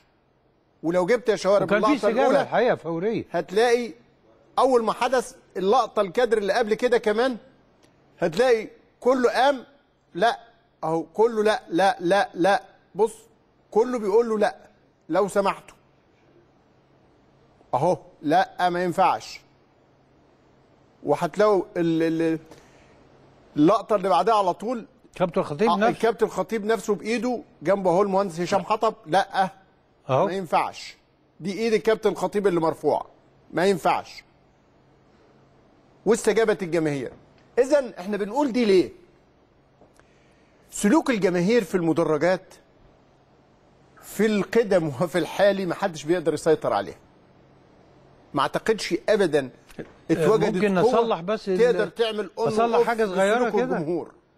ما حدش يقدر يتنبأ إيه اللي ممكن يحصل. ببدايتها لكن ممكن السيطرة عليها لما يكون في ثقة بين ال- ال- الجمهور وقياداته وحرص من قياداته على إيقاف هذا الأمر. بالظبط فهي ما كانش حد متنبئ إن ده هيحصل لكن بمجرد ما الجرس ضرب لا, لا.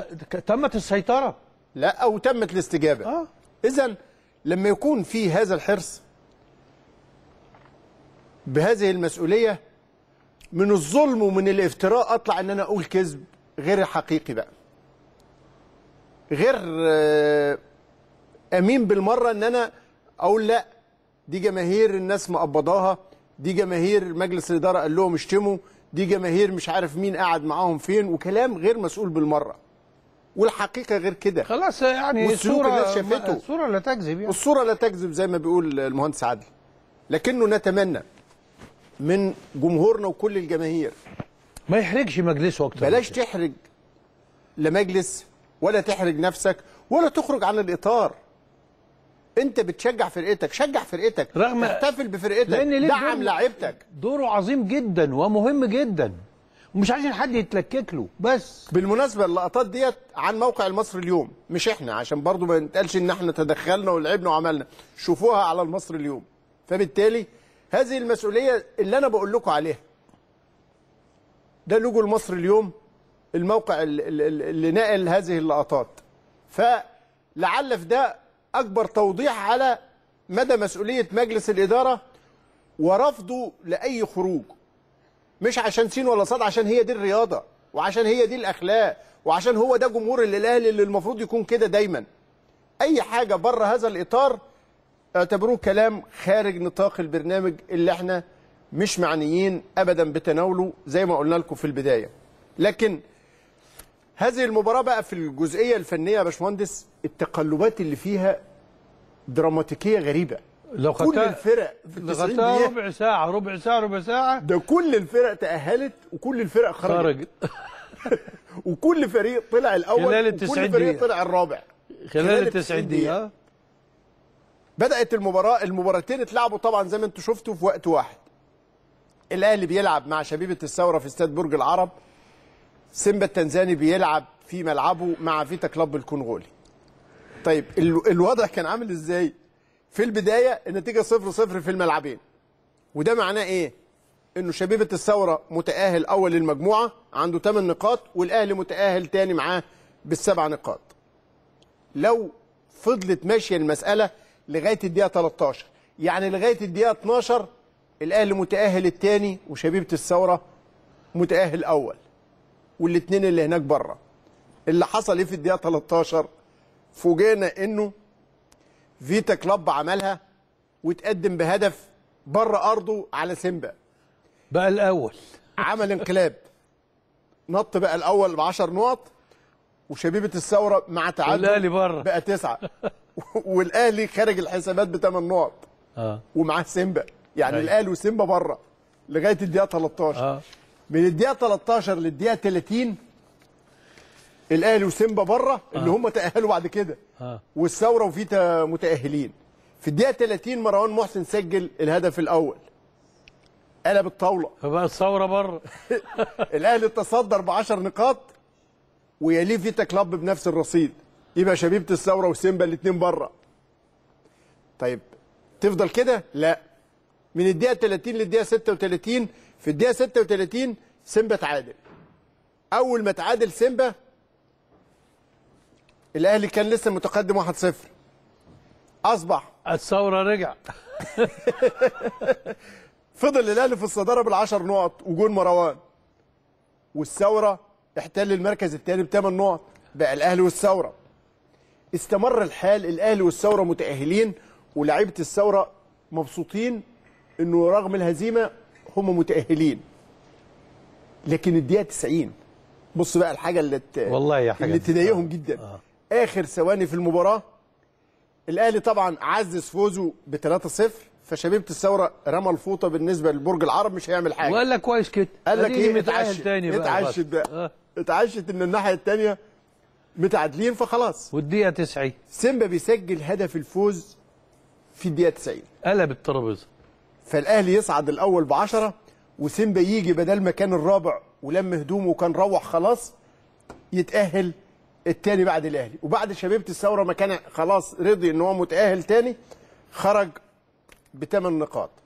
أصبح الأهلي 10 سيمبا 9 الثورة 8 فيتا كلوب اللي كان عامل كل الدوشة دي الرابع بسبع نقاط. هذه ال- ال- الدراما العجيبة تدل على قوة المجموعة وتقاربها.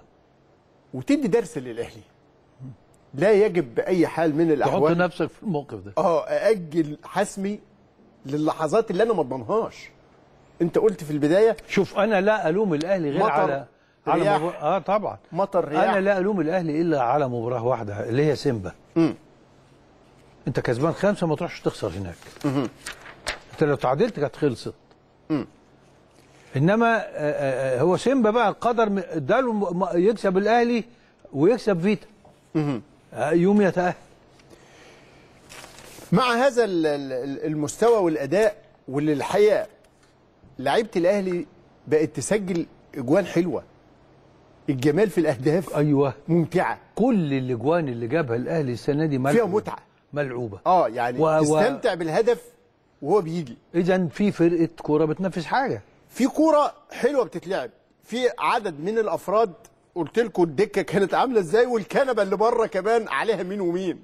فما شاء الله عدد من اللعيبة المميزة. أي حد منهم يشارك. شفتوا مستوى الأداء بيبقى عامل إزاي على المستوى الجمالي والمهاري. لكن يحلم البعض إنه يبدأ يقارن الفرق اللي اتأهلت. فألاقي موقع من المواقع أهلي لاسارتي غير مؤهل لأفريقيا. رغم هذا التأهل كأول المجموعة. ليه؟ قال لك الترجي هو اللي بيتربى على عرش القارة وإنه الأحق أو الأقدر أو الأقرب للفوز باللقب.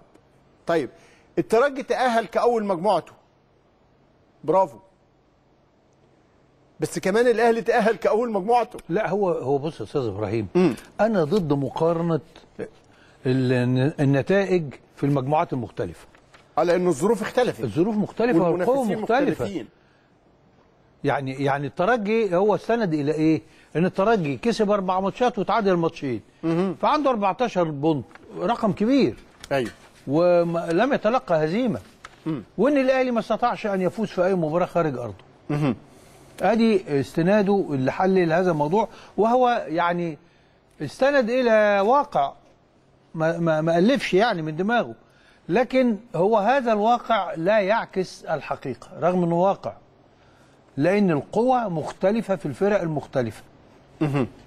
فأعتقد إن بإذن الله الأهلي لا قادر ومع تقدم الوقت ومزيد من الانسجام هو قادر. هو هو هو أصلا الدفع هنا بإيه؟ إنه الترجي كسب بره الأرض والأهلي ما كسبش بره أيوة. الأرض. في حتة الفوز بره الأرض وجوه ال- الأرض. ال- اولا المنافسين مختلفين. طبعا. ثانيا هو مارتن لاسارت ما دام إحنا بنتكلم على المدرب خاض مع الأهلي من أول ما تولى المسؤولية ست مباريات أفريقية. بداية من دور المجموعات. فاز في ثلاث ماتشات في الداخل. وتعادل مرة وخسر مرتين. أدي الست مباريات اللي لعبهم الراجل. طيب سيمبا التنزاني يعني الاهلي صدر تص... آه، صعد اولا. سيمبا التنزاني اللي صعد الثاني مع الأهلي فاز على ملعبه ثلاث مباريات وما ف... وما ما كسبش بره الأرض. الوداد فاز في مباراتين داخل الأرض اللي هو احد أحد أوائل مجموعته أول المجموعة الأولى. فاز في مباراتين داخل أرضه ومباراة واحدة خارج أرضه. لكنه تعادل على ملعبه في مباراة.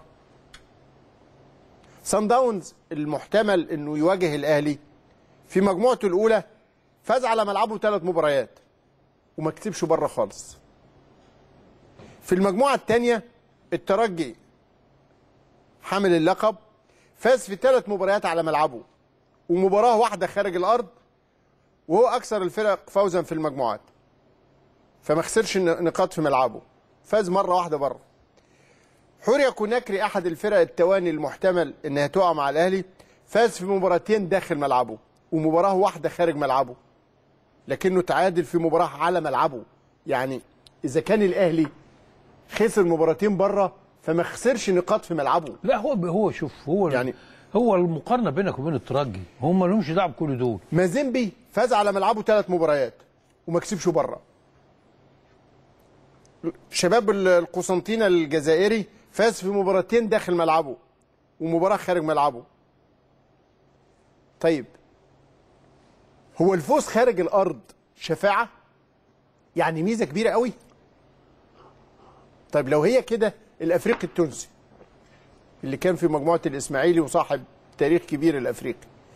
الأفريقي ما صعدش رغم إنه فاز خارج ملعبه مباراتين. دي اللي غريبة. فاز في ملعبه في مباراة واحدة. واتنين بره وما شفعتلوش. اذا بوضع عملي واضح جدا. كل مجموعة ليها ظروفها. وكل مجموعة المنافسين اللي فيها مختلفين عن بقية المنافسين. والظروف المناخية والظروف التنافسية في كل مجموعة مختلفة عن بقية المجموعات. أنا بس عايز ما أقدرش الترجي لعب مع ناس هستند ناس المعيار بتاع ناس. إبراهيم. آه هستند هو بي هو شوف هو مركز على إن الترجي صاحب الحظوظ الأكبر. وعنده حق إنه يرشحه. ما هو حامل اللقب و وماشي لم يتلقى أي هزيمة. أربع انتصارات وتعادلين. وقال إن الترجي أسباب ترشيحه للترجي مستقر محتفظ بقوته وبقوامه ونجومه ال- ال- ال- التقيلة ها؟ والمدرب. و والمدرب وانه بيتطور. وأنا معاه 100% ولكنه أغفل نقطة في شد شديدة الأهمية. أن الأهلي ليس هو أهلي الموسم الماضي. أيوه. أو الفترة الماضية. بلاش الموسم البطولة السابقة. الفارق بين فريق الأهلي الآن وفريق الأهلي من منذ عدة أشهر في ال... لما لعب الترجي في النهائي. آه. فارق كبير. في المباراتين. طبعا. فارق كبير. فما نقدرش نعتمد على هذا المعيار في التقييم. وفي نفس الوقت ما هياش مسألة آه، يعني تزعجنا قوي. فليكن. انت بتقول الترجي وإحنا بنقول بإذن الله إحنا. خلاص. هنشتغل على كده. طيب. المحللين إزاي هذا الأداء الجميل اللي أبدع فيه الأهلي وحقق الفوز بثلاث أهداف رائعة وحاز ثلاث نقاط غالية؟ كيف رآه بقى المحللون؟ كابتن وائل جمعة في بي إن سبورت نشوف رأيه فيها. مبروك طبعا النهارده مهند لل- للنادي الأهلي وجمهوره واللاعبيه والإدارة النادي. آه، انتصار مستحق وواضح و... و... لأن في ناس شككت الفترة اللي فاتت في في أمور كتير جدا. نتيجة الهزيمة اللي حصلت للنادي الأهلي الفترة اللي فاتت. إنما آه، فوز واضح وصريح ولا يحتاج الحمد لله النادي الأهلي لمساعدة من حد. النهارده آه، اللاعبين أدوا أداء ممتاز وأداء جيد جدا. انتشار ممتاز. ما حسناش بخطورة لفريق الثورة تماما. كل اللاعبين أدوا بشكل آه، مميز. المدافعين أدوا دور ممتاز في حاله التمركز ومنع فريق الثورة من عمل خطورة على النادي الأهلي. آه، لعيبة نص الملعب أدت أداء جيد جدا. المهاجمين تحركوا بشكل ممتاز. بالنسبة لي مروان النهارده من نجوم المباراة بعد علي معلول. يعني تحرك وانتشار وتمركز وقرب للاعبين بشكل آه، متميز ومسانده ل- ل- لزملائه. في شفنا الهدف ال- الأول هو اللي بدأ ال- اللعبة آه، وبعد كده الهدف الثاني أحرزه آه، إلى ان اصيب وخرج. آه، أداء ممتاز النهارده وانتصار مستحق. النادي الأهلي يعني اللي جاي اللي جاي صعب. إحنا آه، ماشيين بشكل كويس جدا في البطولة لغاية دلوقتي. آه، على أرضنا ممتازين وأداء آه، مقنع وانتصار واضح على كل الفرق. الصعوبه الصعوبة في الخارج. الصعوبة في الخارج ودي هترجع مع رجوع أصحاب الخبرة يا مهند. عندنا ثلاث لاعبين أو أربع لاعبين آه، آه، عندهم ال- الشخصية وعندهم الخبرة وعندهم كل شيء يفيد النادي الأهلي في المباريات الخارجية. حسام عاشور أحمد فتحي آه، وليد سليمان واللاعب اللي انضم السنة دي ولاعب جيد ولكن الإصابة مش مساعداه حمدي فتحي. أنا شايفه إضافة حتى ممتازة. وليد أزارو لو يعود للفورمة. هداف الموسم و- الماضي ووليد 18 طبعا. في المنافسة مع مروان آه، في في في رأس الحربة. إضافة ممتازة ولاعب برضو عنده إمكانيات. الفريق محتاجها بشكل جيد. باقي بعض الحاجات الصغيرة تتعدل في في توظيف بعض اللاعبين في الملعب شغل. ثاني. يعني شغل المدرب. وأكيد المباريات اللي قدامنا دي هتبين له. هتبين له أجاييه ورمضان وتوظيفهم الصحيح والمكان المناسب ليهم لأن أنا لازلت غير مقتنع بأن أجاييه يلعب كجناح. أجاييه خطورته دايما في ال راس 18 راس حربة م- يعني مهم و- ولاعب عارف طريق الجول بشكل كويس وبيلعب اللمسة الواحدة على المرمى بشكل ممتاز. أخيرا كابتن وائل جمعة رضي عن الفريق. آه. وبيتكلم بسعادة وانطلاق و يعني أريحية. عاجبه كل شيء. آه، ومركز على إن مروان محسن أحد نجوم هذا اللقاء. وأنت بتؤيده في هذا الأمر يا يا أستاذ إبراهيم. صحيح. بأيده في ده جدا ومروان من اللعيبة اللي لازم نقف عندها كتير. بس كمان في لقطة أو في جزئية في تفاصيل هذه المباراة أتمنى إن الناس تقف مع ضمايرها شوية فيها. مش معقولة ابدا. الأهلي كنادي مصري بيلعب مع فريق جزائري شقيق ألاقي الناس معنية على ال social media وفي بعض المواقع وبعض البرامج إن تصدر قلق وتوتر للأهلي مع حكم آه، المباراة التونسي. ويتقال ما قيل. وبعد كده ألاقي حد بيبرر إحنا ما بنقولش حاجة إحنا بننقل عن موقع تونسي يا سيدي الفاضل الاعلام فيه مسؤولية تضامنية. دي مسؤولية انتقائية. انت انتقيت الكلام ده من قناة تونسية ليها توجه فيها تفاصيل مش وقت الكلام فيها. لكنه لما نيجي نتك على دي قوي لإشعال فتيل تاني بين مصر والجزائر وبين الأهلي وأندية أخرى لازم ندرك لا ده مسؤولياتنا مخطط شوية. مع كل ماتش دلوقتي بتلعب بتلعب مع شمال أفريقيا مش هينفع. نفس الأشخاص. مش هينفع السكوت اللي حصل في ماتش الترجي وعدى مش هي... مش هيتكرر تاني ولن يسمح بيه. مش معقولة كده. وبعدين يتقال أصل إحنا ما بنعملش حاجة. إحنا نقلنا عن الموقع التونسي أو على القناة التون- التونسية اللي قالت. طب ما هو يعني ما هو ده نقل الخطأ مخطئ برضه. ما هي نفس ما المسؤولية. شتمك اللي مبلغك وده صحيح. مثلا عبقري. هو اتقال في تونس لسبب إحنا لو في مكان هن أو في مجال هنقول إيه طبيعة القناة التونسية اللي أوردت هذا ال- الفيديو. ومملوكة لمين؟ وتوجهاتها إيه؟ ومخططهم لإزاحة الأهلي إزاي؟ كل ده كلام مفهوم ومعروف وفيه تفاصيل.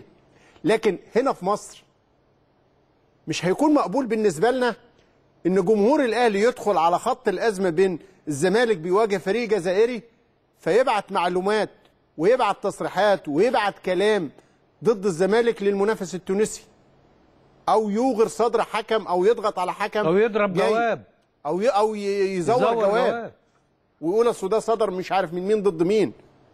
دي ممارسات مش هيتم السكوت عنها تاني وهيتم كشفها وفضحها لأنه قبل ما تكون بت... بتهز مسيرة فريق لا بتحرض جماهير وبتوقع أزمة كبيرة جدا بين جماهير دولتين كفاية اللي حصل في السابق.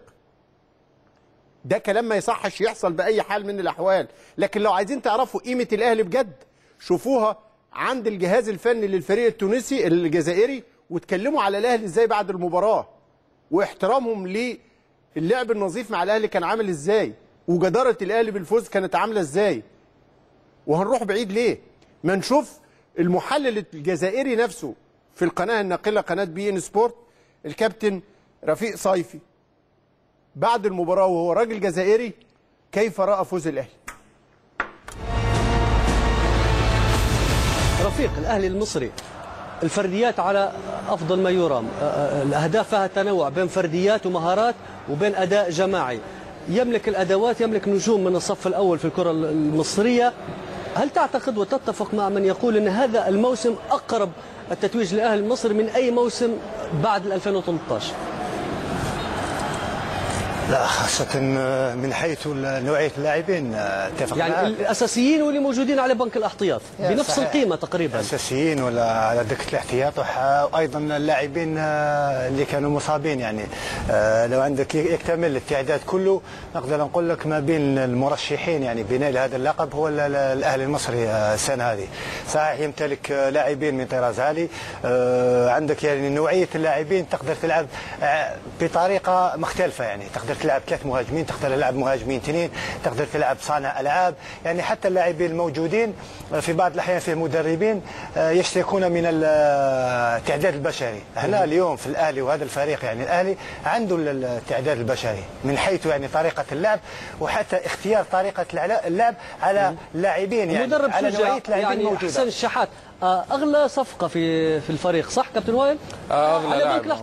يعني المدرب شحات- شجع شحات ولا سليمان عودة سليمان ولا حتى ناصر ماهر. وحسام عاشور، أحمد فتحي، عدة يعني أزارو. آه، لاعبين يعني يقدروا يلعبوا. يعني بثلث مهاجمين مثل ما قلت لك تقدر تلعب يعني بلاعبين اثنين تقدر تلعب الأربعة اثنين ثلاثة واحد أربعة ثلاثة ثلاثة بالمعين على مهاجمين وصانع ألعاب. يعني عندك نوعيته. وهذا الانسجام. ولكن النقطة اللي كلهم يتكلم عليها ويتحدث عليها يعني في الآونة الأخيرة الأهلي ما يفوز خارج ديار.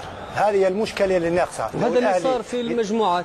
صحيح المجموعة صحيح لاعبين لذوي الخبرة يقدروا يعني يصنعوا الفارق خارج ديار ولهذا داخل داخل ملعبه الأهلي آه، صعيب يعني تفوز عليه آه، على أرضية ملعبه. ولكن خارج ديار هذه مع مرور يعني المباريات مع عودة بعض اللاعبين الأساسيين أو اللي كانوا آه، مصابين يعطوك يعني الفارق خارج ديار. ولكن مثل ما قلت لك يبقى الأهلي مرشح ما بين الفرق اللي ممكن تفوز بالكاس هذا الم- هذا الموسم.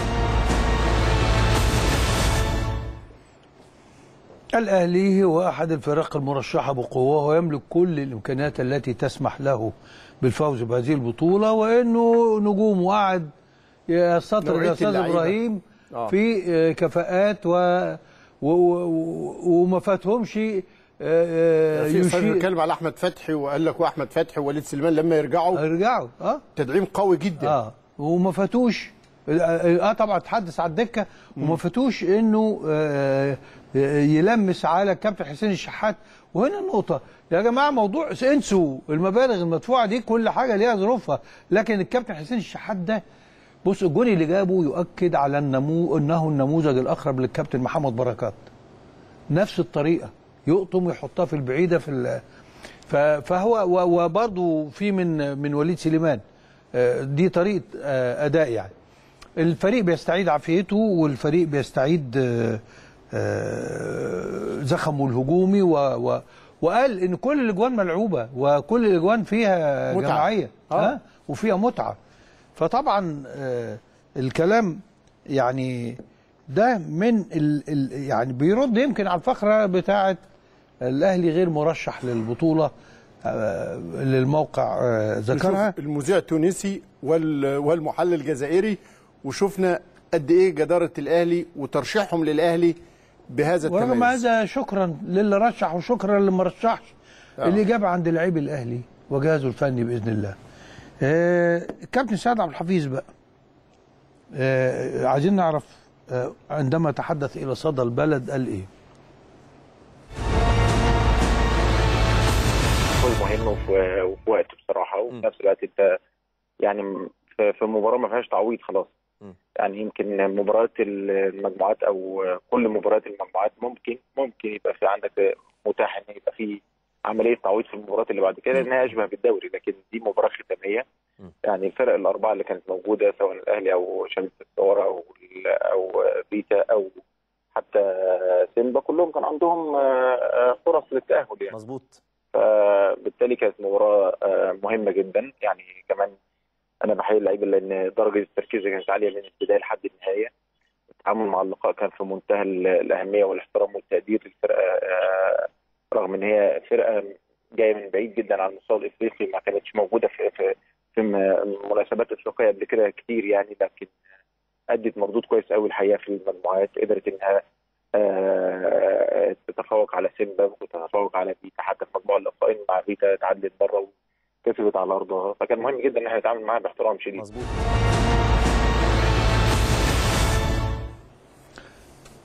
طيب أنا بس آه، يعني آه، عايز آه، أنوه لأن النادي الأهلي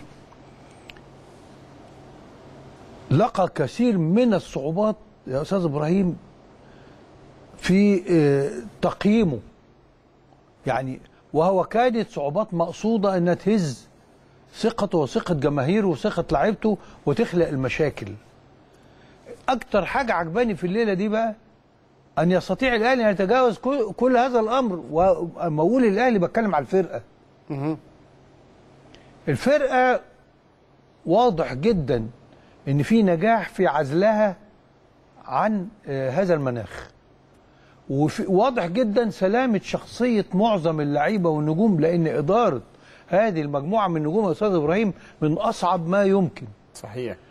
فده ده اللي لافت نظري وده اللي مخليني يعني شوية مطمن إن هذا جيل هو الجيل الأقرب إلى آه، استعادة آه، بإذن الله الفترة الذهبية بتاعت من 2005 آه، وأنت طالع بقى.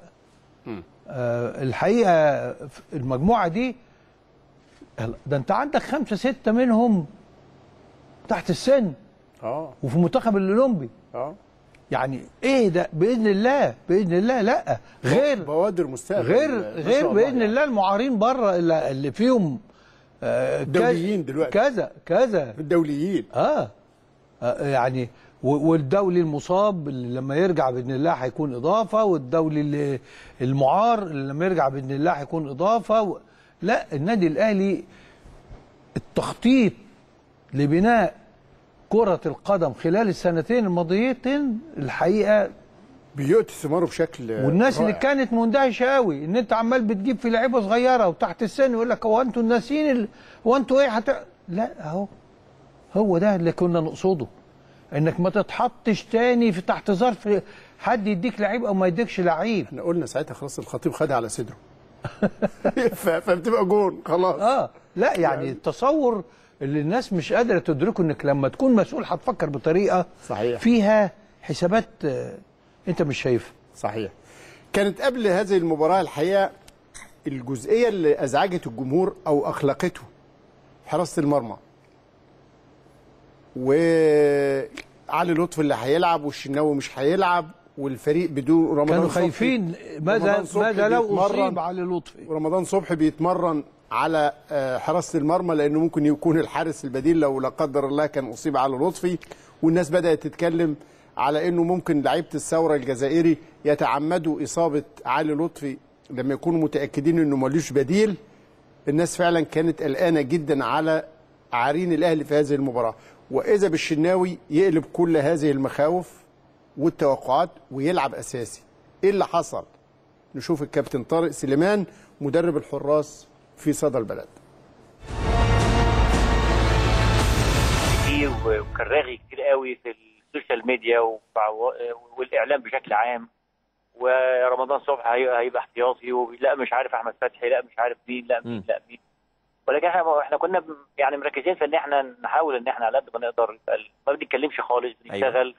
وطبعا الجهاز الطبي كان كان له دور كبير جدا جدا بصراحة يعني. كلمة حق تتقال كان الدكتور خالد مع طبعا طاقم الطب كله يعني الدكتور عبد المجيد والدكتور نبيل. كان لهم دور كبير جدا في إن الشناوي متواجد النهارده في المباراة. وكمان الدور الأكبر طبعا للشناوي نفسه يعني. تمام. بعزيمته وبإرادته إن الولد فعلا يعني كان صعب على الظهر بيعمل علاج علاج ليه؟ والحمد لله هو نزل معايا أول امبارح نزل معايا التمرين بس نزل معايا أنا بس تمرين خفيف كده. قبل ما نسافر اسكندرية. امبارح نزل تمرين آه، مع الفرقة ونزل معايا خدنا شغل كتير وخدنا كورسات وخدنا كرات عرضية كتير وخدنا شوتنج من زاوية مختلفة وكان الدورانات ال- ال- ال- اللي دايما الدورات دي بتبقى باينة قوي إن يعني هل هيبقى في حاجة في. أو لا. فالحمد لله بشكل عام طبعا كل الاختبارات اللي اتعملت آه. وطبعا مع, مع أكيد طبعا آه، آه، رأي الجهاز الطبي كان له دور كبير جدا في إن الشناوي يشارك.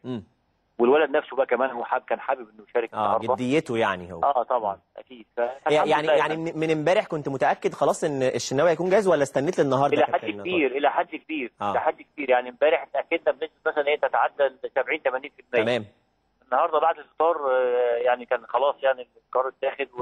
وقعدنا مع الولد الولد كان عنده رغبة. الرغبه الرغبة طالما الرغبة موجودة بالك دايما الانكر ريتش ده أوقات ممكن يبقى فيه ورم.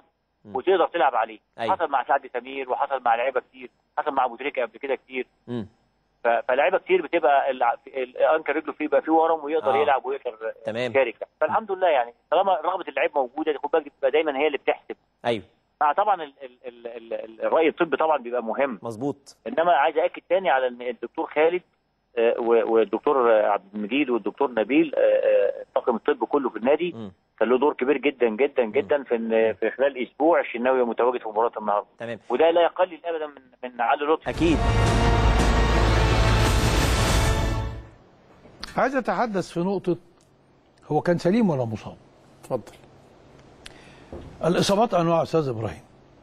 يعني بشكل عام بيتقال لك ما تلعبش ما تلعبش لعيب آه، عنده إصابة مهما كانت درجتها عشان ما تتفاقمش ولكن هناك نوع من الإصابات هي إصابات مؤلمة ولكنها مش إصابات تتفاقم. وأنا يعني حتى لما كنت بسافر مع فرقة آه، كرة اليد كتيرة كان بيحصل هذا النوع من الإصابات. الإصابات اللي اللي تخاف تلعب عليها الإصابات العضلية.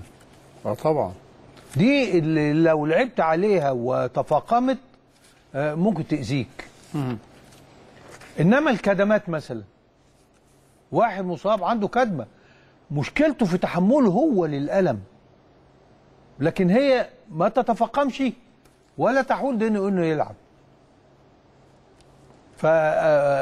فهذا يعني عايز أوضحه بس عشان يعني وده اللي ده اللي أكده الحمد لله. أنا يعني ما كنتش هقول هذا الكلام إلا لما أكده كمان الكابتن طارق سليمان. لأن اتقال مصاب طب ويلعب ليه؟ كانت- فلما بتبقى في ظروف استثنائية تتحامل على البطحة أو الكدمة أو الورم الخفيف اللي عندك وتلعب علشان آه، ما فيهاش ريسك آه، وما فيهاش وفي نفس الوقت هي متعلقة بشخصيتك انت تتحملها ولا ما تتحملهاش. طيب المحللين يشيدوا بالأهلي أمر طبيعي. طب المنافس الجزائري اللي بيلعب ضد الأهلي واللي الأهلي فاز عليه وأخرجه من البطولة فريق شبيبة الثورة الجزائري ليه كل التحية والتقدير الحقيقة. حتى الكابتن محمد يوسف بعد المباراة شفته كان حريص جدا على إنه يهني كريم زاوي كلهم المدير كانوا في الفني. تصريحات راقية يا أستاذ إبراهيم بالظبط. قبل وبعد المباراة؟ على اشادته بهذا الفريق المكافح حتى اللحظات الأخيرة لغاية الثانية الأخيرة كان هو متأهل مع الأهلي.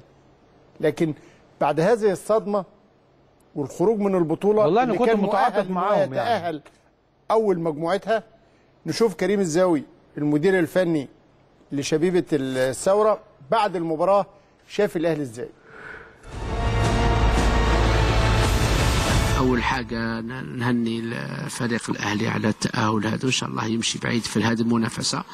إحنا فرحانين بال- باللاعبين تاعنا وبالمسار اللي داروه في طيله ست مباريات. وترأسنا على المجموعة رأس المجموعة كنا كانت عندنا لنا خطوة واحدة للتأهل. ما ساعدناش الحظ آه، اليوم مع فريق قوي جدا آه، ولاعبين ذوي مستوى تقني عالي جدا. محسن ومعلول ومحمد هاني لاعبين في المستوى الكل. واحد ما يكذبش على على نفسه فريق قوي. إحنا كنا حابين نمتصوا حرارة فريق الأهلي في الشوط الأول. درنا غلطتين آه، سمحت للفريق الأهلي باش علينا خاصة الهدف الثاني. كانت كرة عندنا كانت في وقت بدل الضايع كنا قاعدين نتجنبوا هذاك الهدف باش ندخلوا لغرف الملابس كنا نعطيهم نعطيهم أكثر آه، باش نصلحوا واش ما واش ما واش ما مشاش في الشوط الأول. آه، الشوط آه، الشوط الثاني اعطيناهم أكثر حرية تكلمنا معاهم وخليناهم يلعبوا بدون ضغط. لعبنا كرة كانت جيدة واستحوذنا على الكرة كان آه، ما ساعدناش الحظ باش نسجلوا. وكنا أقرب للتأهل آه، وهذا شيء مكتوب الله. الحمد لله إحنا مرتاحين. شرفنا الكرة الجزائرية وفريق آه، شبيبة الثورة. أصبح من أحسن آه، 16 فريق آه، في أفريقيا وهذا شيء جميل جدا.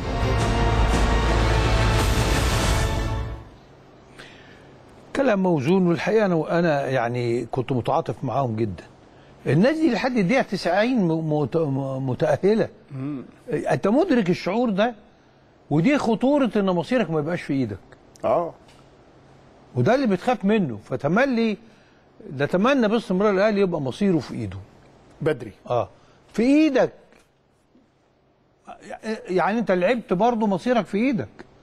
آه، يعني إنك أنت لن تكسب. تصعد أول. هت- يعني ما استنيتش نتائج الآخرين. خلاص كسبت ما انتش مستني حد. هم بقى يا عيني في, في, داخلين أول وبعدين ي- للدقيقة 90 مؤهلين. والراجل الراجل بيقول لك طبعا هو يشير إنه فريق حديث وان هو فريق آه، خبراته قليلة. خبراته قليلة ولكن بيحقق نتائج هايلة خلال السنتين الماضيتين. نتمنى لهم التوفيق بإذن الله. طيب المباراة طبعا وتأهل الأهلي والأداء الممتع. من المؤكد أنه بيشد ليه كل الإعلاميين حتى من هم نجوم التوك شو ومنهم الأستاذ أحمد موسى في صدى البلد نشوف كيف عبر عن فوز وتأهل أهلاوي الأهلي. آه عنيف. شفت النهارده الأهلي من فترة طويلة قوي. ما شفتش الأهلي كده. النهارده ما كانش عندنا بديل ولا اختيار إلا إن إحنا نفوز عشان أول مجموعة ونصعد لربع النهائي. المجموعة معقدة. فالاهلي داخل الرجالة بصراحة بحييهم. أهلي النهارده يرجع الأهلي. كورة الروح فريق البطولة روح البطولة. البطولة بتاعتنا اللي إحنا بنحبها اللي إحنا الأكثر في إفريقيا. الأبطال هذه البطولة جايين نفوز. ما ينفعش النهارده في برج العرب وأمام الآلاف اللي موجودين في ال- الاستاد اللي بيشجعوا من الصبح موجودين وكابتن خطيب طبعا ومجلس إدارة النادي الأهلي والملايين اللي بيتابعوا. ينفعش النهارده نخرج لا رايحين نفوز. فده فريق البطولة. ده الفريق البطل. تعتمد على البطل النهارده. كلهم يعني من غير ما أقول أسماء. مروان محسن النهارده يعني وحسين الشحات ضيع هدف ولكن جاب جون مزيكا. جون الشحات كمان التالت ده مزيكا. رمضان صبحي وخد واحد اتنين كده مزيكا والشحات خد مزيكا وعلى الأرض عارف اللي هو إيه حضرتك آم، قال لك خلاه آه، نظف النجيلة. نظف النجيلة. المدافع الجزائري مع احترامنا أشقائنا الجزائر نقول لهم يعني أديته ماتش هايل وكده ولكن هو ده الأهلي في الآخر يعني. ولكن خلاه نظف نجيله الملعب. حسين الشحات الأول رمضان ثم الشحات. وقبلها رمضان صبحي ده معلم رمضان خد لعيب الجزائر في 3 سم وين كده رايح جاي ينيمه على الأرض عدى منه فين راح فين؟ يلا يا شحات شحات رقص حط في الجون. ثلاث أهداف النهارده أهلي النهارده بطل صراحة يعني. أهلي النهارده أيوه يرجع الأهلي. يرجع الأهلي عشان التسعه أهلي النهارده يبحث عن التسعة. التسعة يا أهلي يستحق الأهلي آه. طبعا سعادة بالغة لكن أنا بمناسبة أنه ذكر الجون اللي جابه رمضان صبحي كنت أتمنى أن يحتسب هذا الهدف. آه رمضان صبحي الجون اللي اتلغى. هذا كان هيبقى واحد من الأهداف التاريخية. الجون ده جابه آه، آه، من على خط الكورنر بنفس الطريقة في كأس العالم آه، آه، المغرب كانت قدام مين؟ كان عندهم لعيب طويل كنت هجيبه النادي الأهلي. أحمد بهجت. أحمد بهجت. آه. أحمد بهجت جاب جون ده بتاع رمضان صبحي. سبتنا في تونس أنت في 97 ورحت له المغرب. ورحت له آه وكنت هجيبه. جاب هذا الهدف في كأس العالم بس كان جون رمضان أصعب لأن آه، عدد المدافعين اللي حوالين رمضان كان أكبر. لكن آه، خانه الحظ في 2 3 سم الكرة يعني خرجت بره الملعب آه، ألغت واحد من الأهداف اللي كان هيبقى هدف تاريخي يعني. فده هدف. لكن عايز أقول حاجة يا أستاذ إبراهيم وأنا ما بخافش على الأهلي قوي غير من الماتشات السهلة. لكن عندما يلعب تحت ضغط والفرصة الأخيرة والفرصة الوحيدة والبتاع ده بتنطلق جواه طاقات لأنه عنده الإمكانات. يعني أنا يهمني إني أحس أشعر الفريق عنده القدرة. استنفار الهمة هو الضغط اللي بيستنفرها عايزين الخبرة بقى تخلينا إيه؟ ما نستناش نبقى مضغوطين. إن شاء الله. أداء الأهلي الممتع الجميل بعيدا عن إن البعض يمكن إحنا كنا أوردنا تقرير لموقع كورة 11 هو موقع كورة 11 اللي كان أورد المقارنة بين الأهلي والترجي وشاف إن الترجي الأحق والأقدر. مش موقع كورة لأنه يمكن اتحط اللوجو بتاع موقع كورة فلا الأمانة تقتضي إن نقول إن ده كان نقلا عن موقع كورة 11 إنما يبقى الرأي للجميع إنه كله يرشح من يراه. طب هاني حتحوت في رؤيته لهذه المباراة رشح مين نجم المباراة بشكل استثنائي؟ كله قال مروان والناس قالت رمضان وناس قالت ناصر ماهر. بس في واحد ممكن يكون في نفس قوة وبراعة كل دول. نشوف هاني حتحوت. علي معلول حقيقة انطلاقات وذكاء وحنكة. لاعب قاري الملعب صح وعارف إمتى هيزيد بالكورة وإمتى هيزيد من غير كورة عشان تجيله الكورة فيعمل هجمة مختلفة. أحسن لاعب في الأهلي النهاردة وفي الفترة الأخيرة. صحيح أحيانا بيغلط دفاعيا وإحنا أحيانا بنلومه دفاعيا ولومناه قبل كده. لكن هي كلمة صح قالها وائل جمعة النهاردة وهو بيحلل الماتش قال إحنا محظوظين إن الأهلي عنده معلول هو كأهلاوي يعني. وائل جمعة شايف إن الأهلي محظوظ إن عنده علي معلول. وعلى ذكر علي معلول إحنا كل ما هنشوف ماتش للأهلي وللزمالك هنشكر تونس. تونس اللي جايبة لنا معلول في الأحمر والعبقري ساسي في الأبيض. فشكرا لتونس وقبلها مبروك للأهلي التأهل عن استحقاق وجدارة إلى الدور ربع النهائي. من دوري أبطال إفريقيا.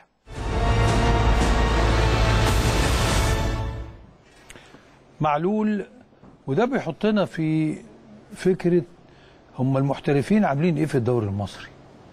مفيش فتره فيها نجاح للمحترفين زي الفترة اللي إحنا فيها دي. بوضوح كامل.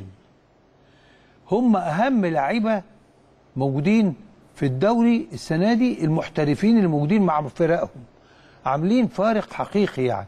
صحيح. ولكن مش معنى كده إنك لا ده أنت أنت بص فرقة الأهلي معلول هايل لكن رمضان هايل لكن آه، مروان هايل لكن أجاييه هايل لكن ناصر ماهر بيتقدم بشكل هايل لكن محمد هاني إيه ده؟ لكن حسين الشحات بقى جاي بشكل هايل.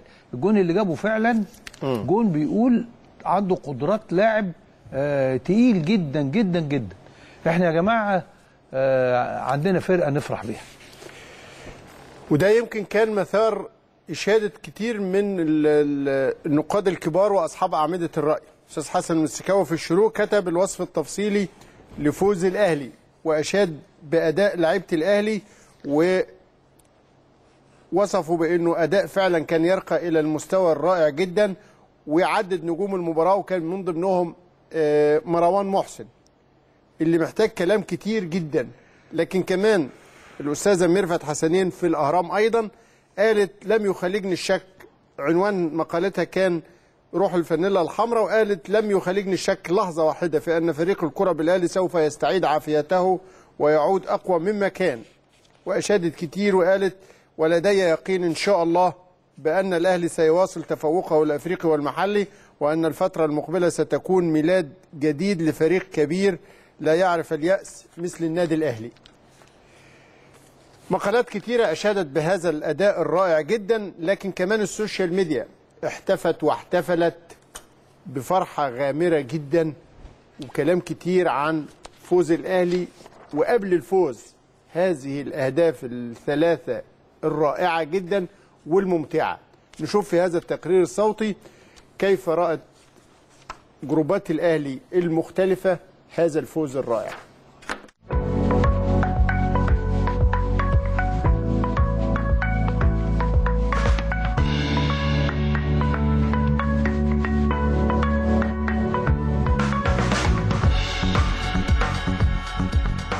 أنا الأهلي ومن أدي أنا الإرادة والتحدي هوايتي أفوت في الصعب ودوس المخاطر وعدي هكذا زأر الأسد الأهلوي في ربوع القارة السمراء بفوز ثلاثي ساحق على شبيبة الساورة الجزائري ليعبر إلى دور الثمانية من باب الصدارة كعادته.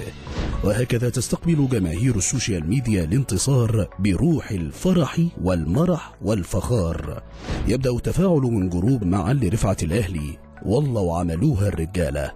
يأتي الشكر من جروب حلم الأهلوية. الحمد لله شكرا للاعبين وللمدرب. ومن جروب أولتراس أهلاوي تأتي نبرة الثقة. صعبتوها على نفسكم لكن قدرتم تكونوا الأول زي ما عودتونا. ويشيع المرح في جروب أهلاوي وأفتخر. بالتلاتة يا حبيبي بالتلاتة. التأهل والصدارة بالتلاتة. فيما يأتي الفخر من جروب مع الأهلي دائما وأبدا. لو لم أكن أهلاويا لوددت أن أكون أهلاويا. الحمد لله على نعمة الأهلي على الرغم من أن معلول لم يسجل لكنه بحس الجماهير الواعية ينال نصيبا من الثناء. فيكتب جروب نادي القيم والمبادئ بخفة الظل. المفروض نتعامل مع معلول زي كاسات النيش. يخرج للضيوف المهمين. ويتواصل العزف مع جروب جماهير عائلة الأهلي معلول دايما عنده الحلول. من جروب عشاق الأهلي يا علول خد قلبي ووزعه على كل اللاعبين. أما مروان محسن فينال نصيبه أيضا مع معلول من جروب عين على الأهلي. مسكين اللي ما عندوش علولة ومارو. ويدندن الناقد الرياضي علاء عزت لمروان. مروان مروان والله بعودة يا مروان. يأتي الإنصاف للأورجواني لاسارتي من الدكتور محمد العدل. من هاجم لاسارتي بعد المباراة الماضية عليه الاعتذار. مبروك. ومن منتدى الأهلاوي الواعي إنصاف آخر. لاسارتي يستنسخ من رمضان الماجيكو تريكا. ومن ندفيد الكابيتانو غالي. الله عليك يا أهلي. أما الروعة فجاءت بين كلمات الكاتب الصحفي الكبير حامد عز الدين. الأهلي كبير القوم في القارة السمراء. وما كتبه المهندس خالد مرتجي عمري ما أحب غير الأهلي ولا في غيره يفرحني. وأخيرا يختم أحمد فوزي حارس مرمى الأهلي السابق جولتنا على فيسبوك. الحمد لله على تأهلنا ويا رب اللي جاي خير. نعرج سريعا على تويتر لنرصد فرحة المشاهير الأهلاوية. محمد بركات. مبروك التأهل مباراة كبيرة أداء ونتيجة. شريف عبد الفضيل مبروك للكبير الأهلي. أحمد عادل عبد المنعم مبروك الفوز والصعود. مبروك للاعبين الرجالة. إلى مشاهير الفن والإعلام والتحليل كتب الكابتن محسن صالح. بقيت رتوش وتكتمل صورة الأهل الزاهية. وكتب المحلل الكروي خالد بيومي. الأهلي رجع لمكانه الطبيعي الأول. مبروك التأهل. من عالم نجوم الكرة والتحليل إلى عالم الفن كتبت ندى بسيوني. الحمد لله على التأهل. المستحيل ليس أهلاوي. وكتب الفنان الكبير نبيل الحلفاوي نقول مبروك للأهلي ومبروك تانية للشحات. ودايما أفراح يا أهلي.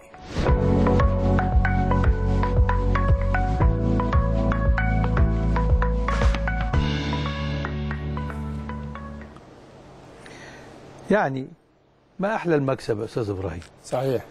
يعني بيخلي الناس كلها حتى في المود اللي تقول كلام حلو وتطلع إبداعات و... وتعيش. هو هو الرياضة حلاوتها في كده مش حلاوتها في التلقيح والتنبيط. وإن شاء الله يوم الأربع سبعة مساء في أحد فنادق القاهرة هتجرى قرعة دور الثمانية للبطولتين دوري الأبطال والكونفدرالية. أنتوا عارفين ما انتهت إليه منافسات دوري الأبطال. صعد من المجموعة الأولى الوداد المغربي وصن داونز الجنوب أفريقي. الثانية كانت ترجي وحوريا كوناكري الغيني. الثالثة مازيمبي وشباب قسنطينة الجزائري. الأهلي وسيمبا في المجموعة الرابعة. الأهلي هينتظر مواجهة واحدة من الثلاثة. شباب قسنطينة حورية الغيني سان داونز الجنوب أفريقي. مباريات الدور الجديد على طول مباراتين ذهاب وإياب. 5 إبريل و12 إبريل يعني مفيش وقت. في إبريل هتخلص ال- الدور الثمانية ودور قبل النهائي كمان. وفي مايو تنتهي أو تختتم البطولة.